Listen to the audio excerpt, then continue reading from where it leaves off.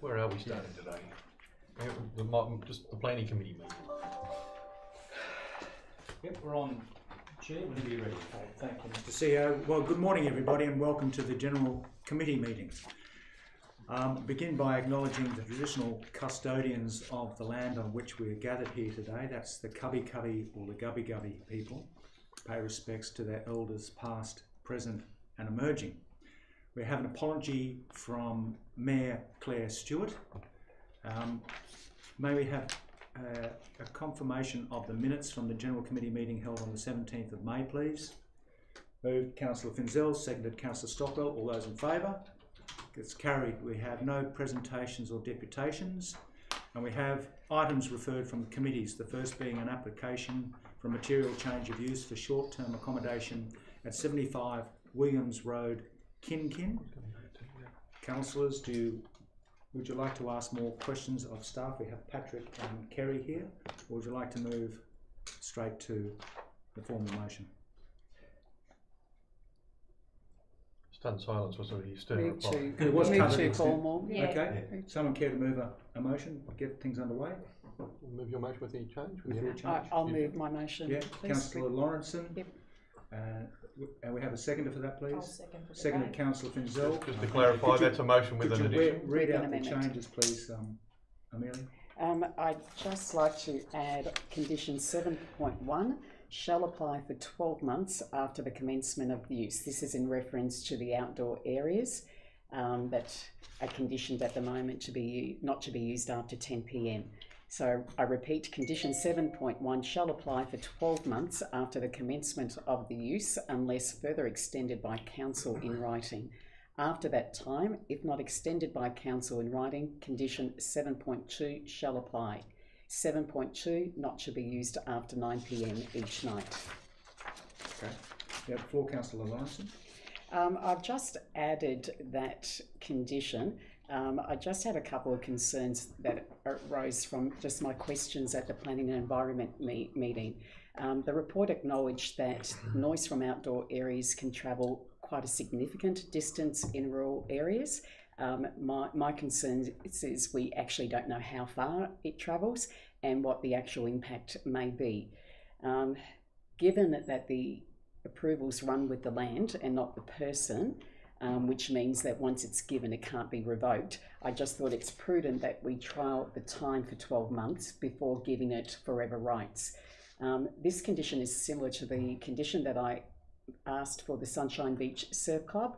Um, and I think it, it provides some consistency in our decision making, and it also respects and acknowledges that the surrounding residents have a right of quiet enjoyment and that this amenity must be protected. Thank you. Question of staff. Kerry, um, a condition like this, does it require the applicant to make, uh, uh, to apply to council, uh, after twelve months for the, uh, extension in writing, or does council, uh, make that decision, will staff make that decision based on the fact that there have been no complaints, or if there are complaints, it'll come back to council for decision?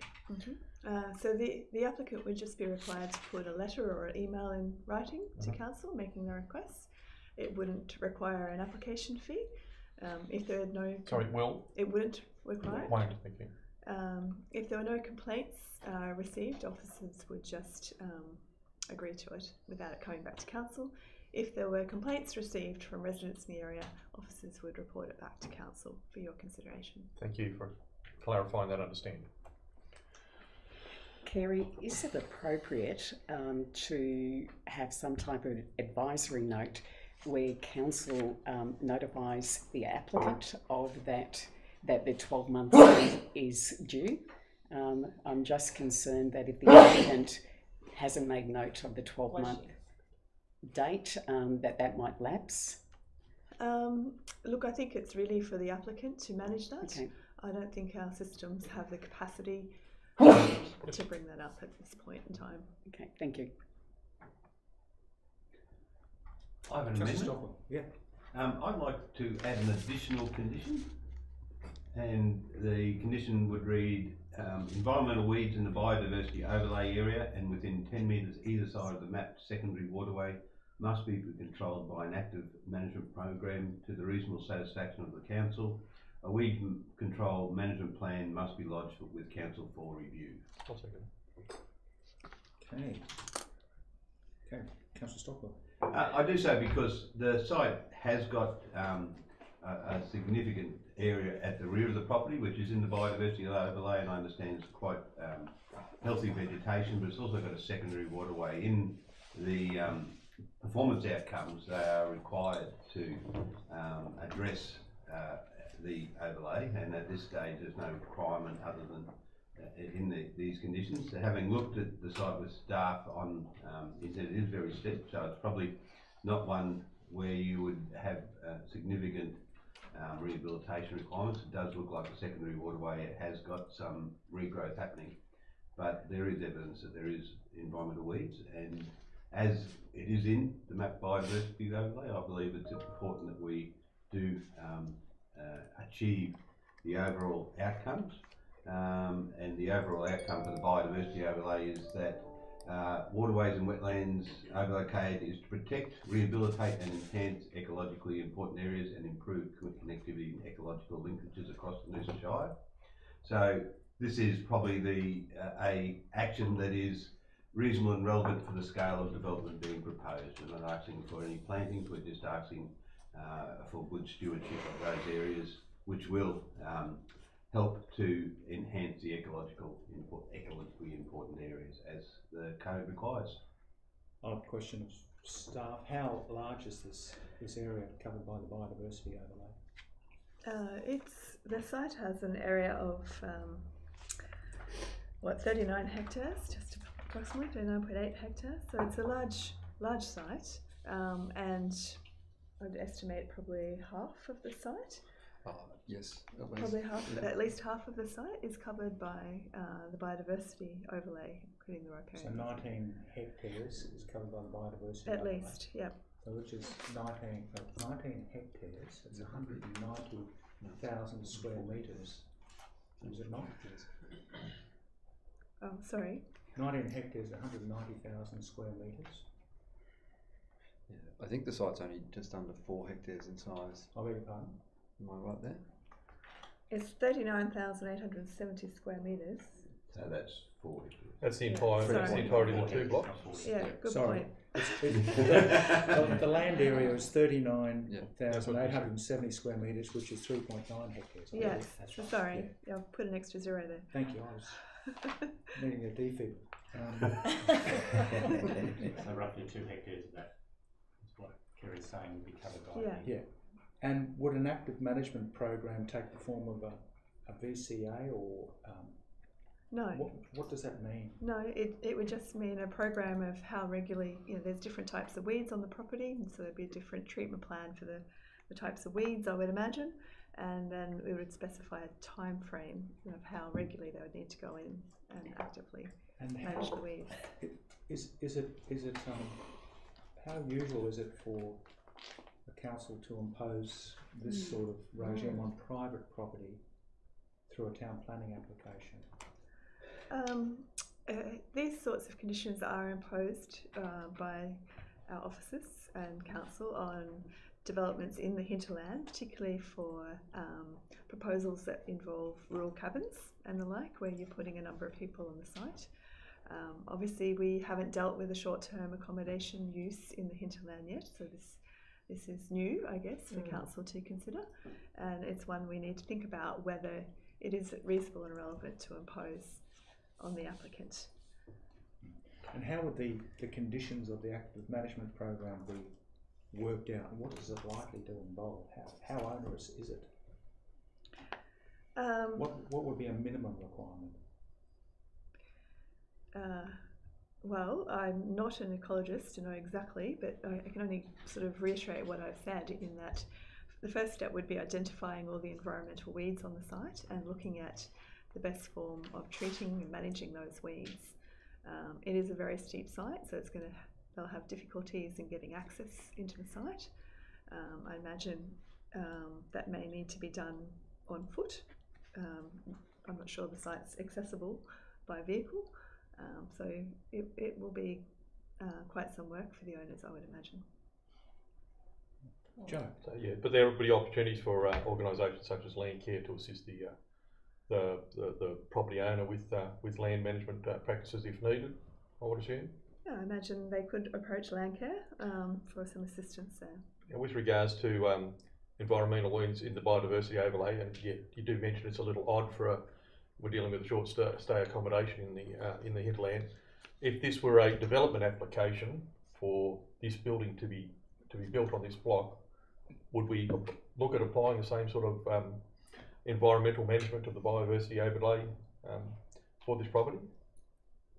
Sorry, Joe, just. So if we were, if this was a development application, i.e. for the house to be built, not just to, to, to be converted to short stay, Mm. would we look at managing the environmental weeds and the biodiversity overlay if, uh, if a development application for the, the, you know, the, the, the building to be built was, Okay. were before us? So if, if the house was located outside the mapped area by, by the biodiversity overlay and outside the riparian buffer, which it is, Yeah.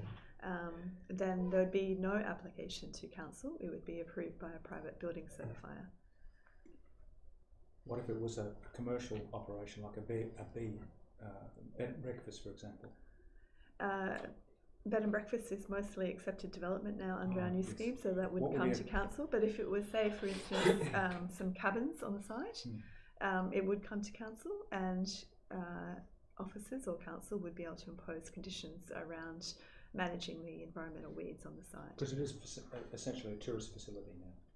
It is, it is Yeah. proposed, but I think what we need to weigh up is, in terms of whether it's reasonable and relevant, does this propo- there needs to be a direct connection with conditions and the proposed use.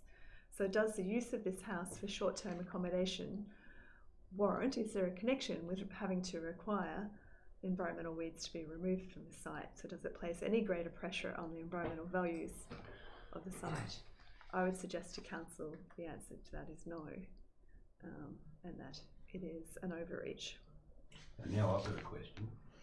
Um, the overlay code in PO six quite clearly states the biodiversity and ecosystem values of waterways, wetlands and adjacent riparian zones are protected by avoiding new development in a riparian buffer area and wetland area, it does that.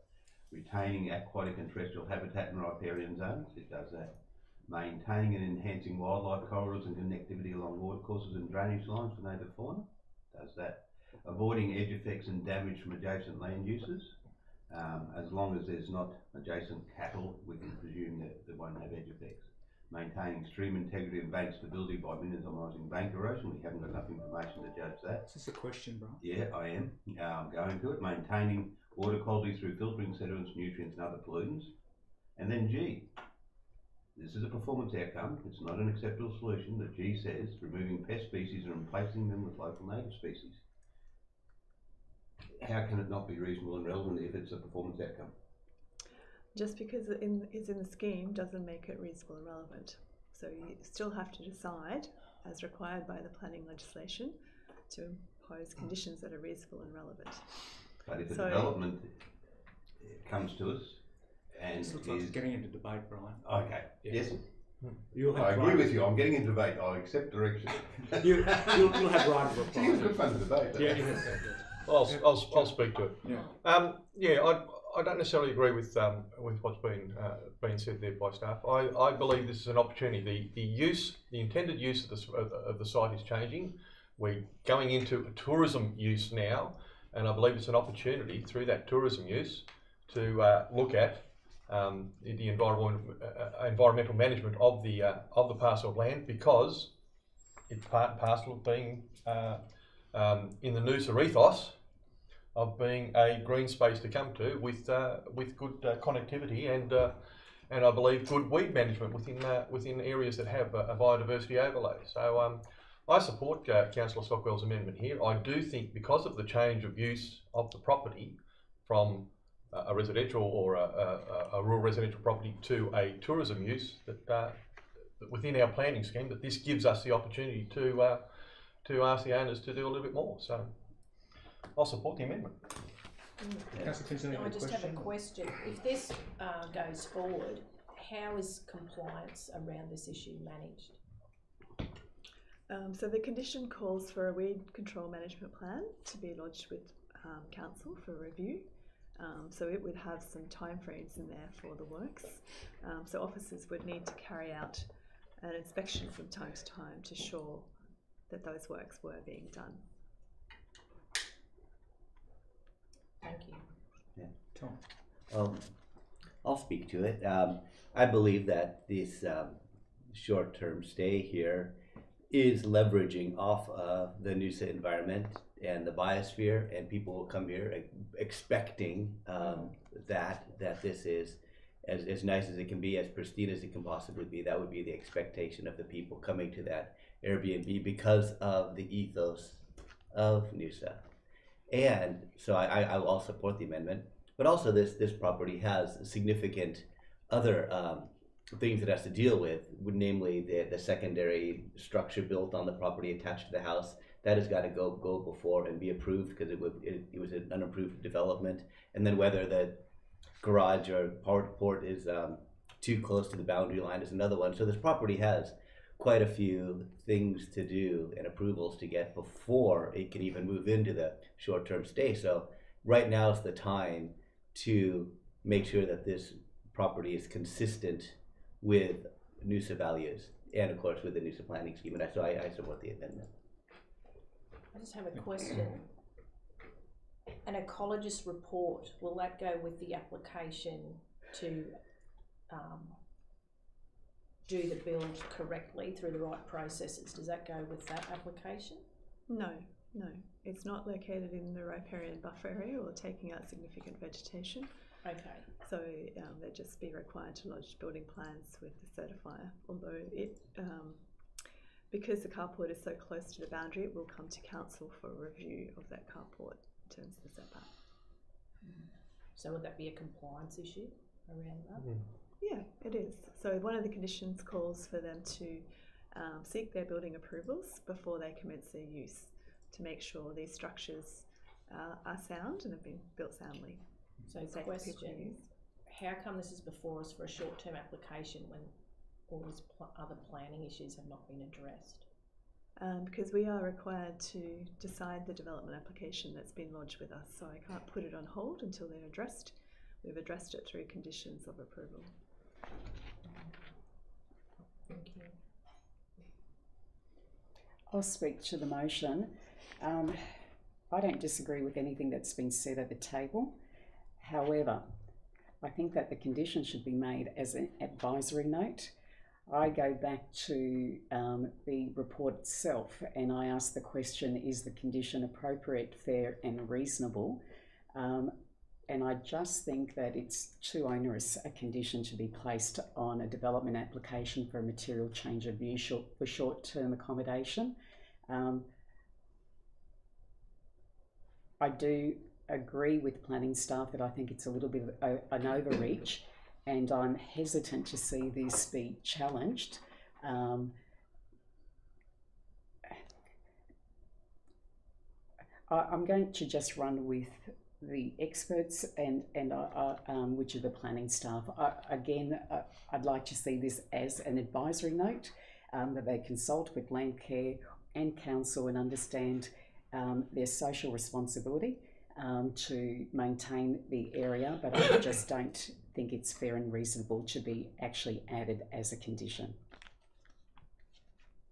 So I won't support this Amendment. um, amendment. Yeah.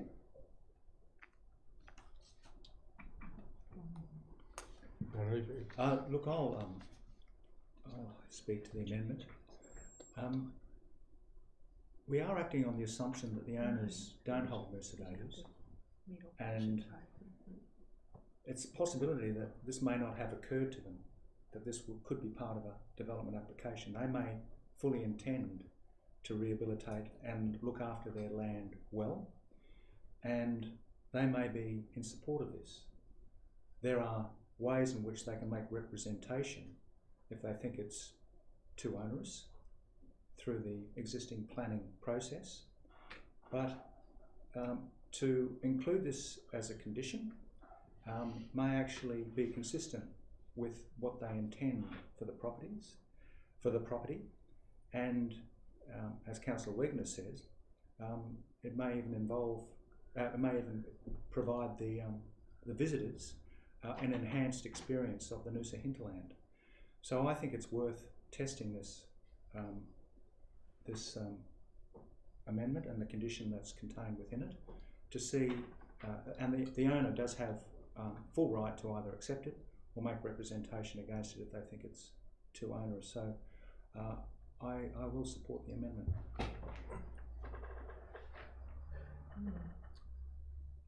Right. This is challenging. Given the points have brought up around the table, I do agree in principle around the amendment with regards to the transfer to become a commercial operation to line up with the ethos of the Noosa biosphere and gives protection that the property is managed. There's nothing to tell us back today, is this person, yeah, how do we know that they're gonna manage that property without any link back for the future to say we can have these issues addressed to look after the land? So for, um, to test it, I'm prepared to support it today. Thank you. Councillor Finzel. Councillor Stockwell, do you wish to close? Yeah, I, I will. I think for me, it's a material change of use. Mm. So implicit within the planning scheme saying it's not acceptable, it's not code, it's a material change of use, it says there's higher impacts than the house that was there. And to me, um, it is an obligation on council to ensure the purpose and overall outcome of the biodiversity and wetlands overlay code is achieved. How this motion has done it is by the very least that could be considered acceptable. So if you, if the applicant was to follow the acceptable solutions, that secondary waterway uh, would be rehabilitated for ten metres either side for eighty metres. Mm. Uh, if, would be the performance outcome, it says to remove pest species and replace with native vegetation. In this case, I've kept it such that they may replace with native vegetation, but looking at the site, that uh, removing the pest species will probably allow nature to replace with native vegetation. So it is the lowest possible uh, level of condition to achieve the biodiversity, wetland, waterways and wetlands overlay code, but I think it's important that we do, uh, every time a, a application comes before us, look at how we take those steps to, to achieve that overall outcome. Thank you. I put the amendment. Those in favour? Councillor Stockwell, Wegener, Jurisevic, Finzel, Wilkie. Against, Councillor Lorentson. The amendment is carried. It becomes part of the motion and only Councillor Lorentson has spoken to the motion. Does anyone wish to speak, else wish to speak to the motion? Councillor Stockwell. Yeah, um, I suppose firstly to the, to the additional condition, um, for noise, I think that's a, a wise move. Uh, secondly, overall, um, our planning scheme does encourage rural tourism, and I think it's great that these people are doing it. It's, um, uh, it's interesting in my mind that it wasn't the thought that you'd be converting houses to standalone, uh, um, short stay accommodation. It was more about getting the cabins, etc. on there. But there's a range of different tourist offerings. Um, I think it's important that we do build, build uh, within our rural area, our hinterland, uh, the, the increased opportunity for people to stay there. You know, uh, I know people very close here have had a weekend in Kin Kin at one of the beautiful short stay um, houses in Kin Kin area, and it's a wonderful experience. And I think, if the as far as the use is concerned, I think it's a, a great use. It's in a, a, a very nice part of the world with um, now, I'm sure the visitors will love the road up with going through the creek crossing, and if they start, uh, if they bring their, their mountain bikes, they can easily connect to the Noosa Trail by driving down Williams Road, down to Black Pinch, and um, some of the nicest steep rides are just in that locality. Thank you, Councillor Stockwell. Any other councillors wish to speak to the motion? Speak to the motion. I would Yes. so. Um, I'm, in favour of the motion and I'm in uh, favour of uh, Councillor Lorentson's amendment. I think it's a really good idea to test this. Um, the um, when we give a when we accept a development application, we have one bite at the apple. It seems to get it right, and by the by the ten o'clock, maybe too noisy, and maybe sound does carry to other properties we don't know. So I think it's very reasonable to give them a year to make sure that we do not do something we regret in the future that all that many other residents will regret around there. Um, it is um, I'm I do not believe that the interpretation of the town plan supports um, short-term stays in medium density or especially in um, low density. But in this case, in rural residential on 98 hectares, I believe that um, that town plan does support this use of the property as a short-term stay.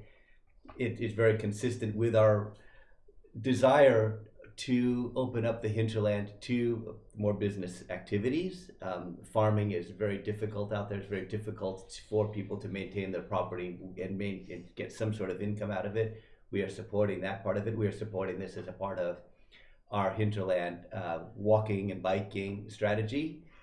And we would love accommodation out there for those people that are taking up our infrastructure that we're building. It's for Noosa residents, but it's also very much for tourists with tourists in mind to bring them to the hinterland. And as of right now, I think it's a, it's a fantastic opportunity for businesses to build uh, in, in the hinterland and, uh, and pull part of that congestion away from uh, the beaches. So I, I support this. Thank. Joe? I concur with the thoughts of Councillor Stockwell and, uh, and Wegener there. I think um, we do get uh, some diversity in the uh, in the form of uh, accommodation offerings that we have. I think the hinterland um, offers uh, an experience for uh, for a certain type of uh, tourist um, market. I don't think we're being inundated with applications in the hinterland for this type of type of thing. It's also in a on a on a large property, and it'll be an experiential opportunity to uh, to undertake. So I'm, uh, I support the motion, and I uh, commend the uh, the amendments of both uh, councillors uh, Stockwell and Lorentson that, with regard to um, noise and and weed um, opportunities on the on the block. Yeah, um, I'd like to add also that I think it's, um, I support the amendments. I think this is, um, new area that we're moving into out in the hinterland. As everyone has said, we want to support, and we are supporting through, um, infrastructure bills and investment of money into the hinterland. But at the same time, we also want to make sure that, um, the desired outcomes for the amenity also the hinterland, which is our environment, what people come for that experience. So we need to know that we're looking after that further down the track, given the Kin Kin quarry issues and decisions that were made in the 80s and how that's affecting what's happening out there now. I think it's good to be cautious around these things and test these development applications and short-term use accommodations moving forward to ensure that we are getting the best social, environmental and economic outcomes as we're meant to as local council, and so I support this today. Thank you, Councillor Finzel. Uh, look, Councillor Lorentson has the right of reply. I, I think councillors have eloquently summed up all the arguments. I'll be supporting the supporting the motion. Nothing more to say. Thanks. Thank you. Uh, I'll put the motion. All in favour? Councillor, S- well, that's unanimous. Thank you. Um, the next item is the application for reconfiguration of a lot, one lot into two lots, and creation of an access easement at 23 Jirrima Crescent Cooroibah.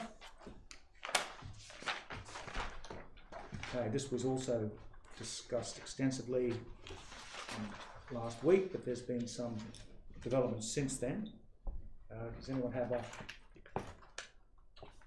a motion they'd like to move? If you want to go straight to motion, the one on the screen there, I'll read it out. The council note report uh, by the coordinator planning to the Planning Environment Committee meeting date, date to June twenty twenty-one regarding application number RAL twenty of nine zero zero nineteen for a development permit for reconfiguring a lot one into two lots situated at twenty-three Jirrima Crescent, Cooroibah, and request staff prepare a further report for the ordinary meeting date of seventeenth of June 2021, including conditions for approval of the application. I'll second. Second, second, Councillor Jurisevic.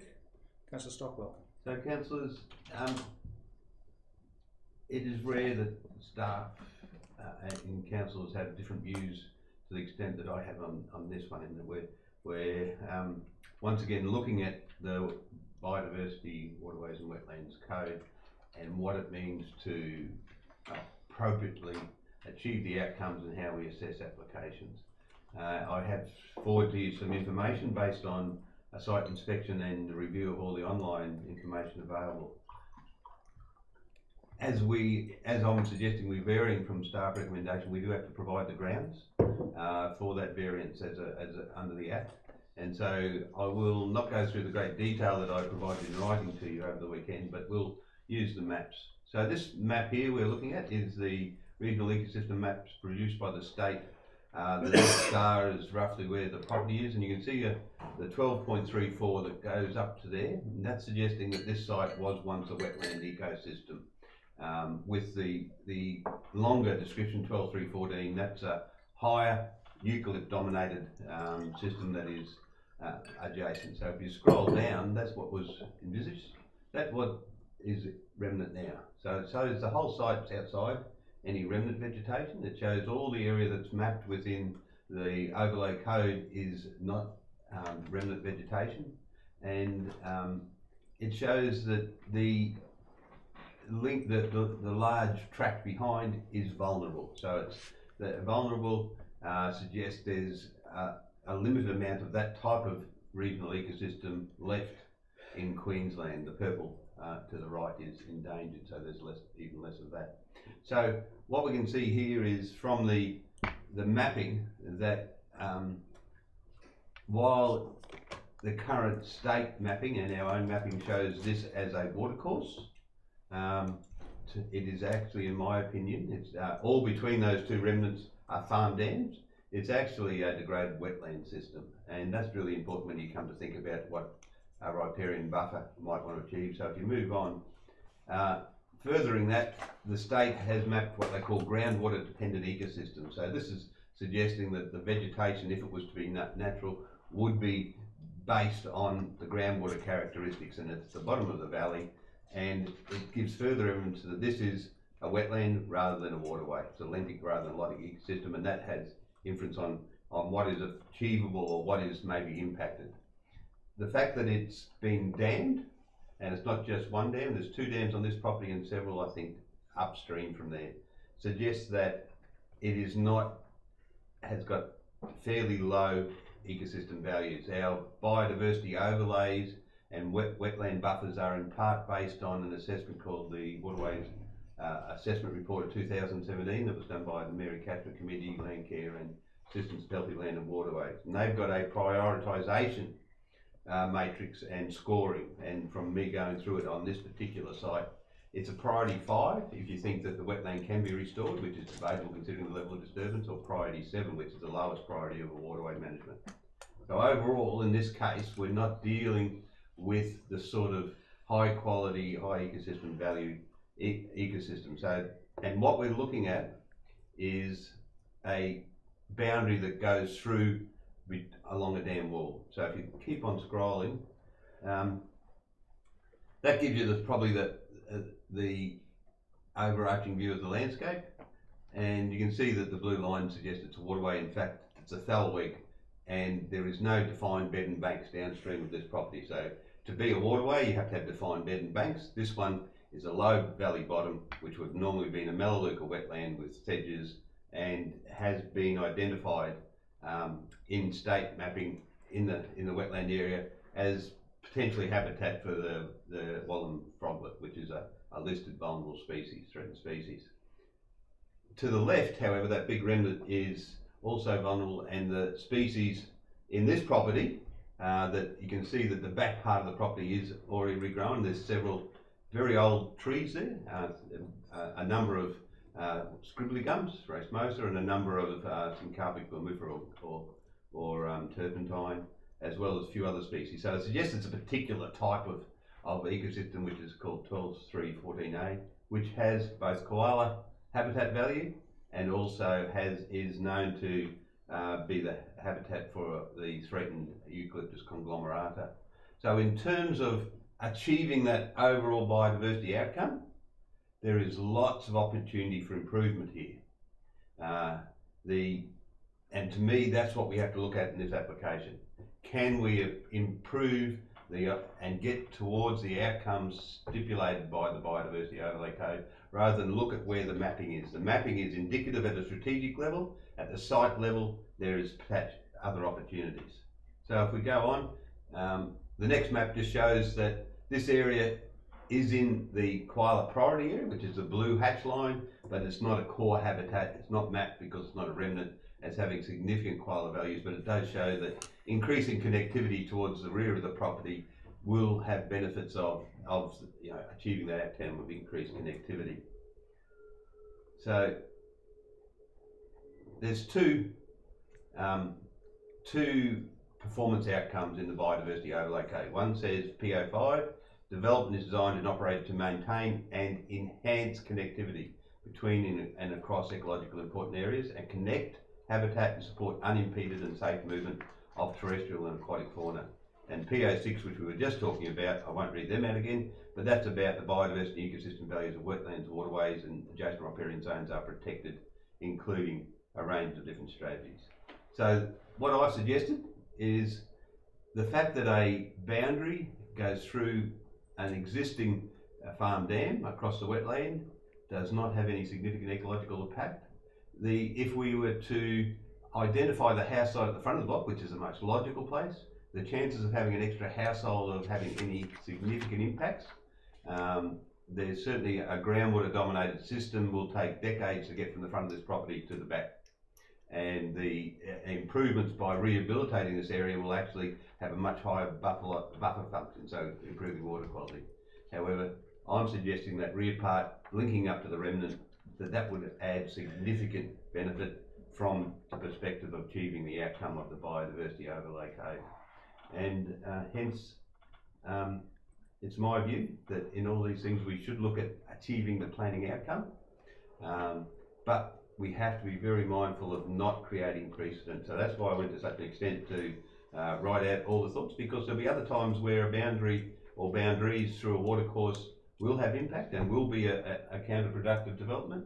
In this case, I think um, there is a high likelihood that if we can condition the development appro appro appropriately, that there's a much stronger chance of achieving the outcomes of the code. Just a question, Brian. Did you mention Thalweg? I did. Could that you was for you. Explain what the Thalweg is for the, those that don't know. So Thalweg, uh, you where the, where they marked the waterline is actually the centre of the valley. So normally the, the, the centre of a watercourse is the Thalweg, but also in this case because the wetland is just the lowest point of the landscape. Uh, and I suppose one thing I didn't mention when I'm looking at this site, the four metre contour, which you can't quite pick up, it's just near that blue line on the right and just on the other side. That is the depression that would be most logically, you can see uh, four metres there and on the other side. That, in my opinion, is where the wetland would have been, and that's where in high flows you'd probably have that as a ponded wetland. Sure, and, and like me, I'm sure all councillors are open to what fluvial geomorphology morphology maps can reveal about the great lentic ecosystems and thalwegs. So thank you. All those were just for you. Um, Kerry, I have a question. Um, on page 26 of the report, it's noted that considerable time was spent with the applicant to explore alternatives. Was such an option explored? Um, Uh, no, the options that officers explored was looking to see whether they could subdivide the site without placing a boundary through so that waterway. was with lot sizes. Okay. Yeah, so that it wasn't this option that's now proposed by Councillor Stockwell wasn't explored, just No. um, the other. My next question is we've got Councillor Stockwell's opinion, um, we've got a council recommendation, and we also have the applicant who submits that the, propo- the proposal they put to council um, offers substantial benefit to the waterways and ecosystems. Um, who's right? Um, well, answer that, Councillor. That's up for you to determine. Oh. So my next question is: Are we outside our jurisdictional power um, to be making such reports? Well, um, I think council needs to make a decision on this application. It's a code accessible application, so Yep. we have a time frame in which to make it, otherwise it's deemed approved. Um, so officers will put forward um, their recommendation and an assessment against the scheme, uh, but it's really for council to decide. Um, I think, uh, as Councillor Stockwell's indicated, and officers have as well, we need to be careful in this one uh, because officers' concern is it will take a precedent. Yep. Um, Councillor Stockwell's obviously presented why, in his opinion, it won't, that there's good reason for this Yep. Proposal. So any, if this motion before us was, was carried today on Thursday night, which is when the final decision is made, we'd have a report which would contain all the conditions under which that subdivision would be allowed to proceed, uh, or- or not. Yes, And and we, that's we would have the, um, the, the original motion, if we wish to, recommendation, if we wish to fall back on that. Yeah. If we're not satisfied that the Yeah. conditions are sufficient. Yeah, and based on the discussion uh, that Councillor had and Councillor Stockwell's uh, position on this, we would have some reasons why we were going to vary from council officers' decision. So that's clear to try and um, prevent it being a precedent.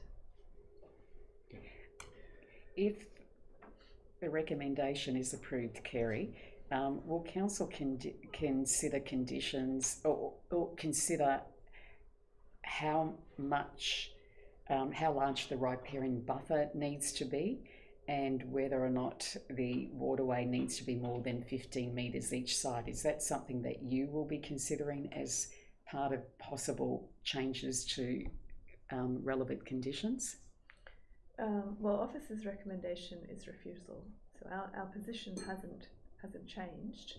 Um, we would we would try and base the conditions on the discussion in in council as to what council would like to see.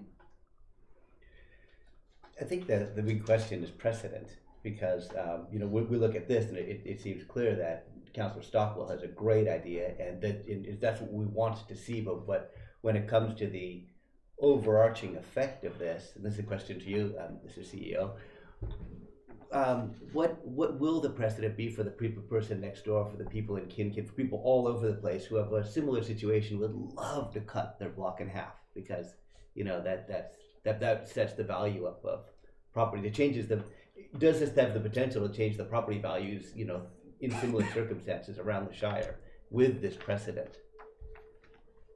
Good question. Um, the answer to that really lies in on what basis council would agree to uh, approve this application under what conditions, whether those same context or that same scenario would, would exist in, in future applications. So um, one of the things, and probably coming back to Councillor Lorentson's question, is that if the council wishes to make a decision on a planning application which is contrary to staff recommendation, it needs to set out the reasons why and what's the basis for that. So that's why those reasons would need to be very uh, carefully articulated to set the parameters, if you like, about why this decision would be different to what has been recommended by staff. And that would then, uh, hopefully or potentially then, um, quarantine that precedent aspect to only those set of circumstances. Excellent. Mm. And that can be done. Yes? Well, it's not only can it be done, it has to be done. It has to be done. Mm. Excellent. I just have a question. Yes, Karen. Um, these proposals that are being put forward with the priorities A five and six around the benefits to the wetland being um, rehabilitated moving forward, will that come under the covenant? You know, we talked about last week about the covenant linked to this and it goes to the title. Perhaps that's a question to me because they haven't recommended it. Oh, oh, My okay. intent would be the area Yeah. I've identified as the environmental rehabilitation area would all be under covenant. It's all under that cover. That's my intention, yeah. Okay. So, The property owners are comfortable with that? um, I didn't negotiate conditions, but it was uh, suggested that they thought that was the best place to rehabilitate when we're on the, the, the site. Brian, a question to you then. Um, would they need to fully plant out and rehabilitate the entire area, or is it just parts of the area? Um, I think the to me, I, I did go into uh, a little bit in, in the information I gave you yesterday. Is the back part would probably have benefit from some augmented canopy species, but then as long as you're, you're keeping stock out and you're controlling the exotic weeds, the, the nest will be natural succession, won't be hugely successful. In the wetlands, I'm just suggesting it's the understory that needs to, to, to really be upgraded because it is already uh, going back towards a more natural state. But yeah, so the details of the rehabilitation plan um, or the covenant uh, will probably be the where that's not there. But, to me, I've tried to suggest that that it's not necessary to you know uh, have to um, revegetate with multi-strata vegetation. Just that you know the back we're saying is koalas, so planting some koala trees, planting that you know having it as an area where the, threatened species Eucalyptus conglomerata can be planted. You know adds a bit of diversity. To me, they're the sort of benefits you get from doing it. So, question I asked of Kerry before, probably better directed to you, um, Brian. In your opinion, um, is it necessary to for the, for the waterway to be more than fifteen metres on each side? Um, is the large riparian buffer that's been conditioned at the moment is that unnecessary in your opinion? Um, so I'm going to be really specific. It's it, because it's a groundwater dominated system, and because it's so degraded. Any further width is not going to add Well, that's how I, wetland value. no. So Okay, so that's why I said the, when I was on site, I saw the slight variation in topography, which in these areas makes a difference to what sort of trees grow there. And you can see on site that you go from the Melaleuca dominated community very quickly into the eucalypt. So to me, to get an, uh, an ecosystem uh, recovery, it's really only that corridor between the two four metre co- um, contours that roughly reflects where probably you would have had this this this nice wetland. And you can see what it should look like just up the road on the eastern side of Jirrima Crescent. There's a lovely um, remnant stand. And to me, in terms of water quality, because you've got grass, the overland flow is not going to be um, giving sediments into the wetland. And with the groundwater, the most important area to denitrify is actually in that area that's wetted right near the wetland. So having lots of tree roots and everything helps with carbon to denitrify those groundwater flows. So to me, from an ecosystem function perspective, yeah, that's all is required. Fantastic. Brian, just given we've um, heard a lot about your opinion regarding this today, what informs your opinion around this? Do you have qualifications or? I'm an expert. I've got a PhD, a master's in ecosystem, wetland and aquatic ecology, uh, and rehabilitation of wetlands. So um, the people who did the study, for example, were people who would probably look to me for advice. Thank you. And question to staff, do we have anyone on staff that is able to have qualifications that match this to be able to provide expert Oh, advice? I don't think it's. Get up to me. I, I think in terms of the think it's koala stuff, question to ask staff about matching. yeah, matching no, in terms of the back part, um, our, our ecologists would have better qualifications than me. I'm only talking about the wetland waterways area, which is my specialty. So, yeah, um, aquatic ecology is my thing, whereas the, I have, have masters that include restoration ecology as well. But Connor is very, uh, Mm. has very good skills in this. So, yeah. I guess I'm trying to establish why then in the report or communications with staff that this, was this discussed throughout those pre-lodgement discussions or? I think, um, Kerry answered that, the pre-lodgement discussions really focused on whether or not, um, for want of a better phrase, the subdivision layout could be amended to, um, stay out of this area in terms of where the boundary would go. That was what the conversations were in the pre-lodgement meeting, or in the, in the assessment process. Um, And, I, and I acknowledge the, the staff concern about precedence, hence why I've tried to go to an extent to identify the grounds, which the CEO has mentioned is trying to keep the, the, the degree it sets a precedent to similar contexts in the future, not, like if this was a, a remnant wetland, there'd be no way I'd be going down this path. Just for the purpose of moving this debate on, um, uh, I'll speak to the motion. Uh, this is, it's highly unusual to have for, and it's not, never done lightly, to ask staff to present an alternative report, uh, uh, recommending approval and they've recommended refusal. Um, it's not done lightly and with the deepest respect to staff, um, I'm open to the report coming to us at the Thursday meeting so we can go through the conditions. Uh, could we have someone like, it, it would be great if we had someone like Connor Neville available to give his expert opinion when, on that, on that evening. Um, because, um, we will still have the staff recommendation to fall back upon if we're not satisfied that the, um, the ecological values can be protected uh, suitably by the alternative recommendation um, as opposed to the um, the original recommendation by staff. But I'm, I'm open to to um, the report coming on Thursday night so we can see the conditions under which this may be approved by the council um, and I would be very interested in what the staff have to say about that, including Colin Neville on Thursday night. So it's only for the purpose of uh, keeping an open mind and I respect this is we're asking you to do something under duress. Thank you.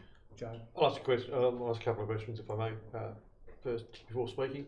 Um, CEO, uh, the recommendation before, or the, um, um, motion before us, uh, requests a further report, including conditions for approval of the application. That, that, that by no means means that this, uh, uh, approval, uh, is forthcoming. It means that we've got a set of conditions that we can consider again Thursday evening. Is that correct? That's right.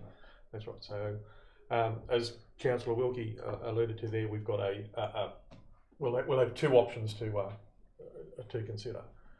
Um, question for staff. One of the things that we discussed at the, or was discussed at the planning committee, was one of the reasons for refusal of this is because a fence line, as I understood it, was considered. Um, uh, trying to get the words right. Um, a fence line could be considered development under a development application and hence uh, could have clearing either side of that was one of the reasons that staff were reluctant to make this approval. If there's an opportunity here to um, place this under some sort of uh, some some element of uh, covenant, as the applicant has suggested here, or other um, protection mechanism uh, and um, rehabilitation mechanism for the uh, the backlots here, without a fence line going through as part of that development um, uh, approval, would that be something that staff would be amenable to? So, um, at the Planning and Environment Committee, officers were concerned that a covenant could not um, prohibit a fence being built on the boundary. Um, the legal advice is that a covenant can do so, it can prevent a fence being built. Um, uh, officers still remain concerned about that because I think people feel they have the right to build a fence on the boundary um, and that there may be pressure down the track for council to permit that to occur. Thank you. Uh, I'll speak to the motion now. Um, having visited site with Councillor Stockwell and spoken to the applicant, um, the applicant has what, what one of the things the councillors may not see or may not uh, be aware of. There is a mobile phone tower in lease A. If you look at uh, page 21 of the uh, development uh, of the um, of the report, one of the things that the uh, the applicant was very uh, adamant to uh, insist when that was uh, placed on the block was that the access easement for that was to utilise the existing um, driveway of the adjoining block to access the property instead of going through the middle of the property. So this could have had, this uh, property could have had a road right down the middle of it to access that easement, but uh, due to the uh, um, diligence of the applicant, they insisted, uh, the, um, the the resident, they insisted that uh, other alternative means of accessing that lease in. So that, that gives me heart that this applicant has the environment foremost in their their thoughts as part of this.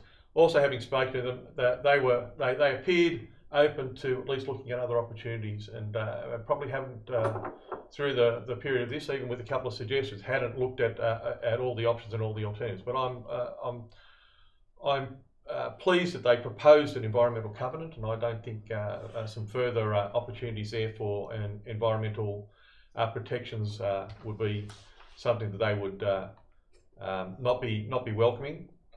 Uh, as Councillor Stockwell said, the, uh, the the value of the waterway here was challenging. It was uh, quite weed infested. Uh, was two man-made uh, constructions with a, a, a roadway and uh, and pipe work across to. So it's, it's more of an overflow with with flooding than a than a generally flowing waterway. From what I saw, that was my opinion as well. And obviously obstructed by by weeds in some areas for for water flow, particularly Singapore daisy in in the northern por- portion of the the property.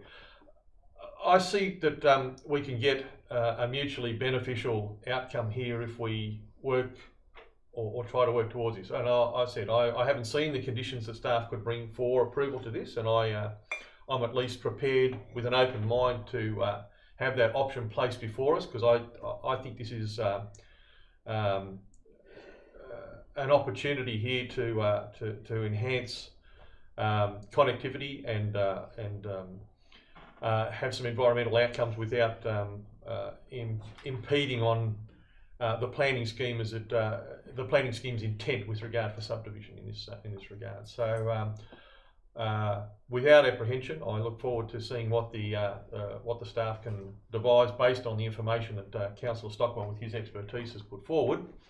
Uh, and we'll reserve my judgment until Thursday night, and uh, we have that before us. Thank you, Councillor Joseph.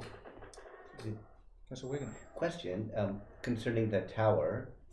So, Joe's, I, I uh, completely overlooked that, um, th- that there's a tower on the property and the road, Joe, you, you runs Yeah. right through the middle. Runs no, it runs runs on the, the left hand side of eleven there. Tom, you can see the easement running up the side. It doesn't run through the middle. It was proposed to run through the middle of the property, as I understand it, but the uh, the owners of the property uh, spoke to the uh, tower um, developers uh, at the time. I'm not sure whose it is, and uh, and suggested the alternative there, which was um, uh, upgraded to facilitate access to the tower on the left hand side there.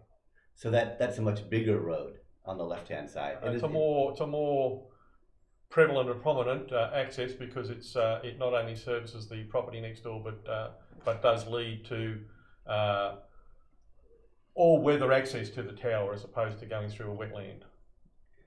So the, there's a much more substantial bridge, just like off, off the property, on the next property over, for the big trucks. I 'Cause wouldn't it takes a- a, it takes a a bridge, but uh, yeah, certainly some pipe work underneath uh, underneath the access track in order to put in a tower, culvert. um, there's pretty big trucks that, that roll over that area. Mhm. Um, so, um, site eleven doesn't get the tower, site ten gets the, is the, the tower is still on site ten. It- Yes, Yes. and the driveway for the tower is on the other side of side eleven. Which There's is quite a actually bit on- of, there's quite a bit of driving going up and down those, those roads to get to the Which towers is actually on property 46. on property forty-six. The road. So, Tom, you wish to speak to the motion? I'm just asking questions about that. Um, que- questions about the tower, that's just something I didn't see. And um, having uh, experience with these things, there's a lot of, I'm just wondering if that changes. So go ahead, no, I'll, I'll, I'll speak to it later. Thank you. All right, so we've had Councillor Stockwell, Wilkie and Jurisevic speak to the motion. Any other councillors wish to speak to the motion? I'd just like to add, I'm looking forward to the report back from the staff. Um, I think it's good to debate this. I think, you know, fundamentally things have changed since COVID. I promote uh, more people around the table and getting good um, input from everyone. I have spoken to the applicants. They are more than happy to work with council and everyone to get outcomes that, um, you know, bring rehabilitation. They want to work with us. And I think looking forward to a future that we have to um, carefully consider all options on the table. So it'll be good to have your report and um, bring more information back for us to consider, especially given that the staff explored um, other options and not necessarily the ones that have been raised today in Dr. in Stockwell's Councillor Stockwell's opinion. I was about to say doctor because you come across as anyway. So yes, thank you. I'm looking forward to that. Do you want to speak to No, it? you go. Um, it, it seems though it, we've the, the science that um, Councillor Stockwell is referring to seems to be pretty watertight. That that's the question now moves. In reality, in these narrow circumstances, are we changing the town plan through the council decision versus the democratic process of voting it and going through the process? So um, I would on Thursday night or before that, I'd like to speak to you about about what it is, exactly what we're doing here as a council. As a new council, I'm not quite sure the, of the legal impact of going against um, that the, the staff recommendation. What are the implications of that, and what are the implications to all the other properties? And as the CEO said, it has to do with how we write and, and, and you know the conditions we put on it. But again, this is all pretty new to me, and um, I want to be sure to get this right. So, um, so I hope, I look forward to, to speaking with you. And if any other councillors would like to join me in, you know, going over this with Kerry Patrick, that'd be fine. But I look forward to, uh, you know, learning more before Thursday night. Councillor Lorentson. Um, yeah, just further to what Tom's just said, um, that's my only red flag. Will this case set any precedents for future development? Um, that aside, I'd like to thank Councillor Stockwell for the extensive work he's put in in pr- providing this report. Um, and I want to just put out there that um, there's no dispute. The applicant and all of us around the table, we're all got a mutual goal, and the mutual goal is achieving best environmental outcomes. Um, I've spoken to the applicants, we've all received correspondence from the applicants. Um, I thank them for their flexibility and willingness and their genuine, um, their genuine intent to achieve the best environmental outcome. So I'm, I'm looking forward to the report on Thursday. Thank you. Councillor Stockwell, you wish to close? No. I'll put the, um, the, the motion to the vote. All in favour? That's unanimous. It's carried. Um, councillors, um, there's a couple of items, three and four, which involves legal advice, um, which we may wish to dis- uh, discuss uh, in a confidential session, if it's all right with you. Yes? Yeah, I'll move it. Uh, The chair can actually. I can do it? Yeah, the chair can decide to shift items from the order of business if he wants to. Yeah, I'm, s- I'm, section twenty. Thank you, Mr. Chair. I'm, I'm proposing we move items three and four to the end of the, uh, the agenda and deal with them then and make the decision in open session after the confidential session, if that's okay with you. So, um, Kerry and Patrick will, will let you know when we need you. And at this juncture, if it's okay, five minute break, please. Yes.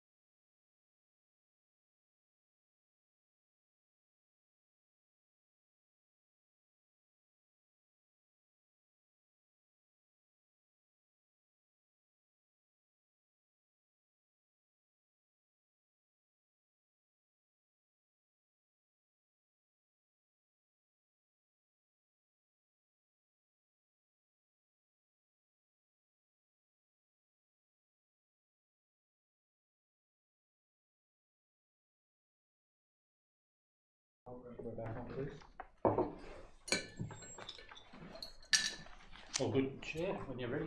Okay, welcome back everybody. We're up to item five, which is the Noosa Bushland Reserve Strategic Management Plan, referred from the Planning and Environment Committee agenda. Um, welcome Craig and Michael. Councillors, um, again, this was discussed quite extensively last week. Would someone care to move to a, um, a motion? We can have questions as part of that as we go. Uh, do you wanna ask a question? question? Yeah, Of course. so at the meeting last Tuesday, we were talking about the desirability of including some words uh, to reflect, uh, I suppose, to provide an explanation in terms of the prioritisation from a coastal management perspective is something that will occur in the coastal foreshore management plan rather than this plan. Uh, have you had a chance to draft those up, or is it something that you'll need till Thursday to? We've, we've drafted up some, uh, some wording, but we're unable to do it in time to present a further report to this committee. So if council wants to consider that revised wording, it'll have to be as part of a further report to the ordinary meeting. That's fine. All right. So can I move accordingly? Yep. That the matter be deferred for consideration until uh, Thursday's ordinary meeting? I'll second that. Do we need to give a reason in order to give staff time to? Yeah. Uh, to, for, for further report.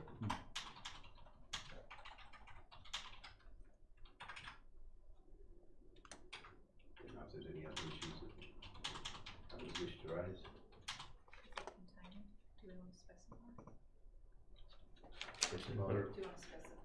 Addressing, Uh, addressing, um, Coastal. the, the, the, the mechanisms by which coastal foreshores will be prioritised for management action. Is that Good enough? Coastal foreshores, is that the right wording?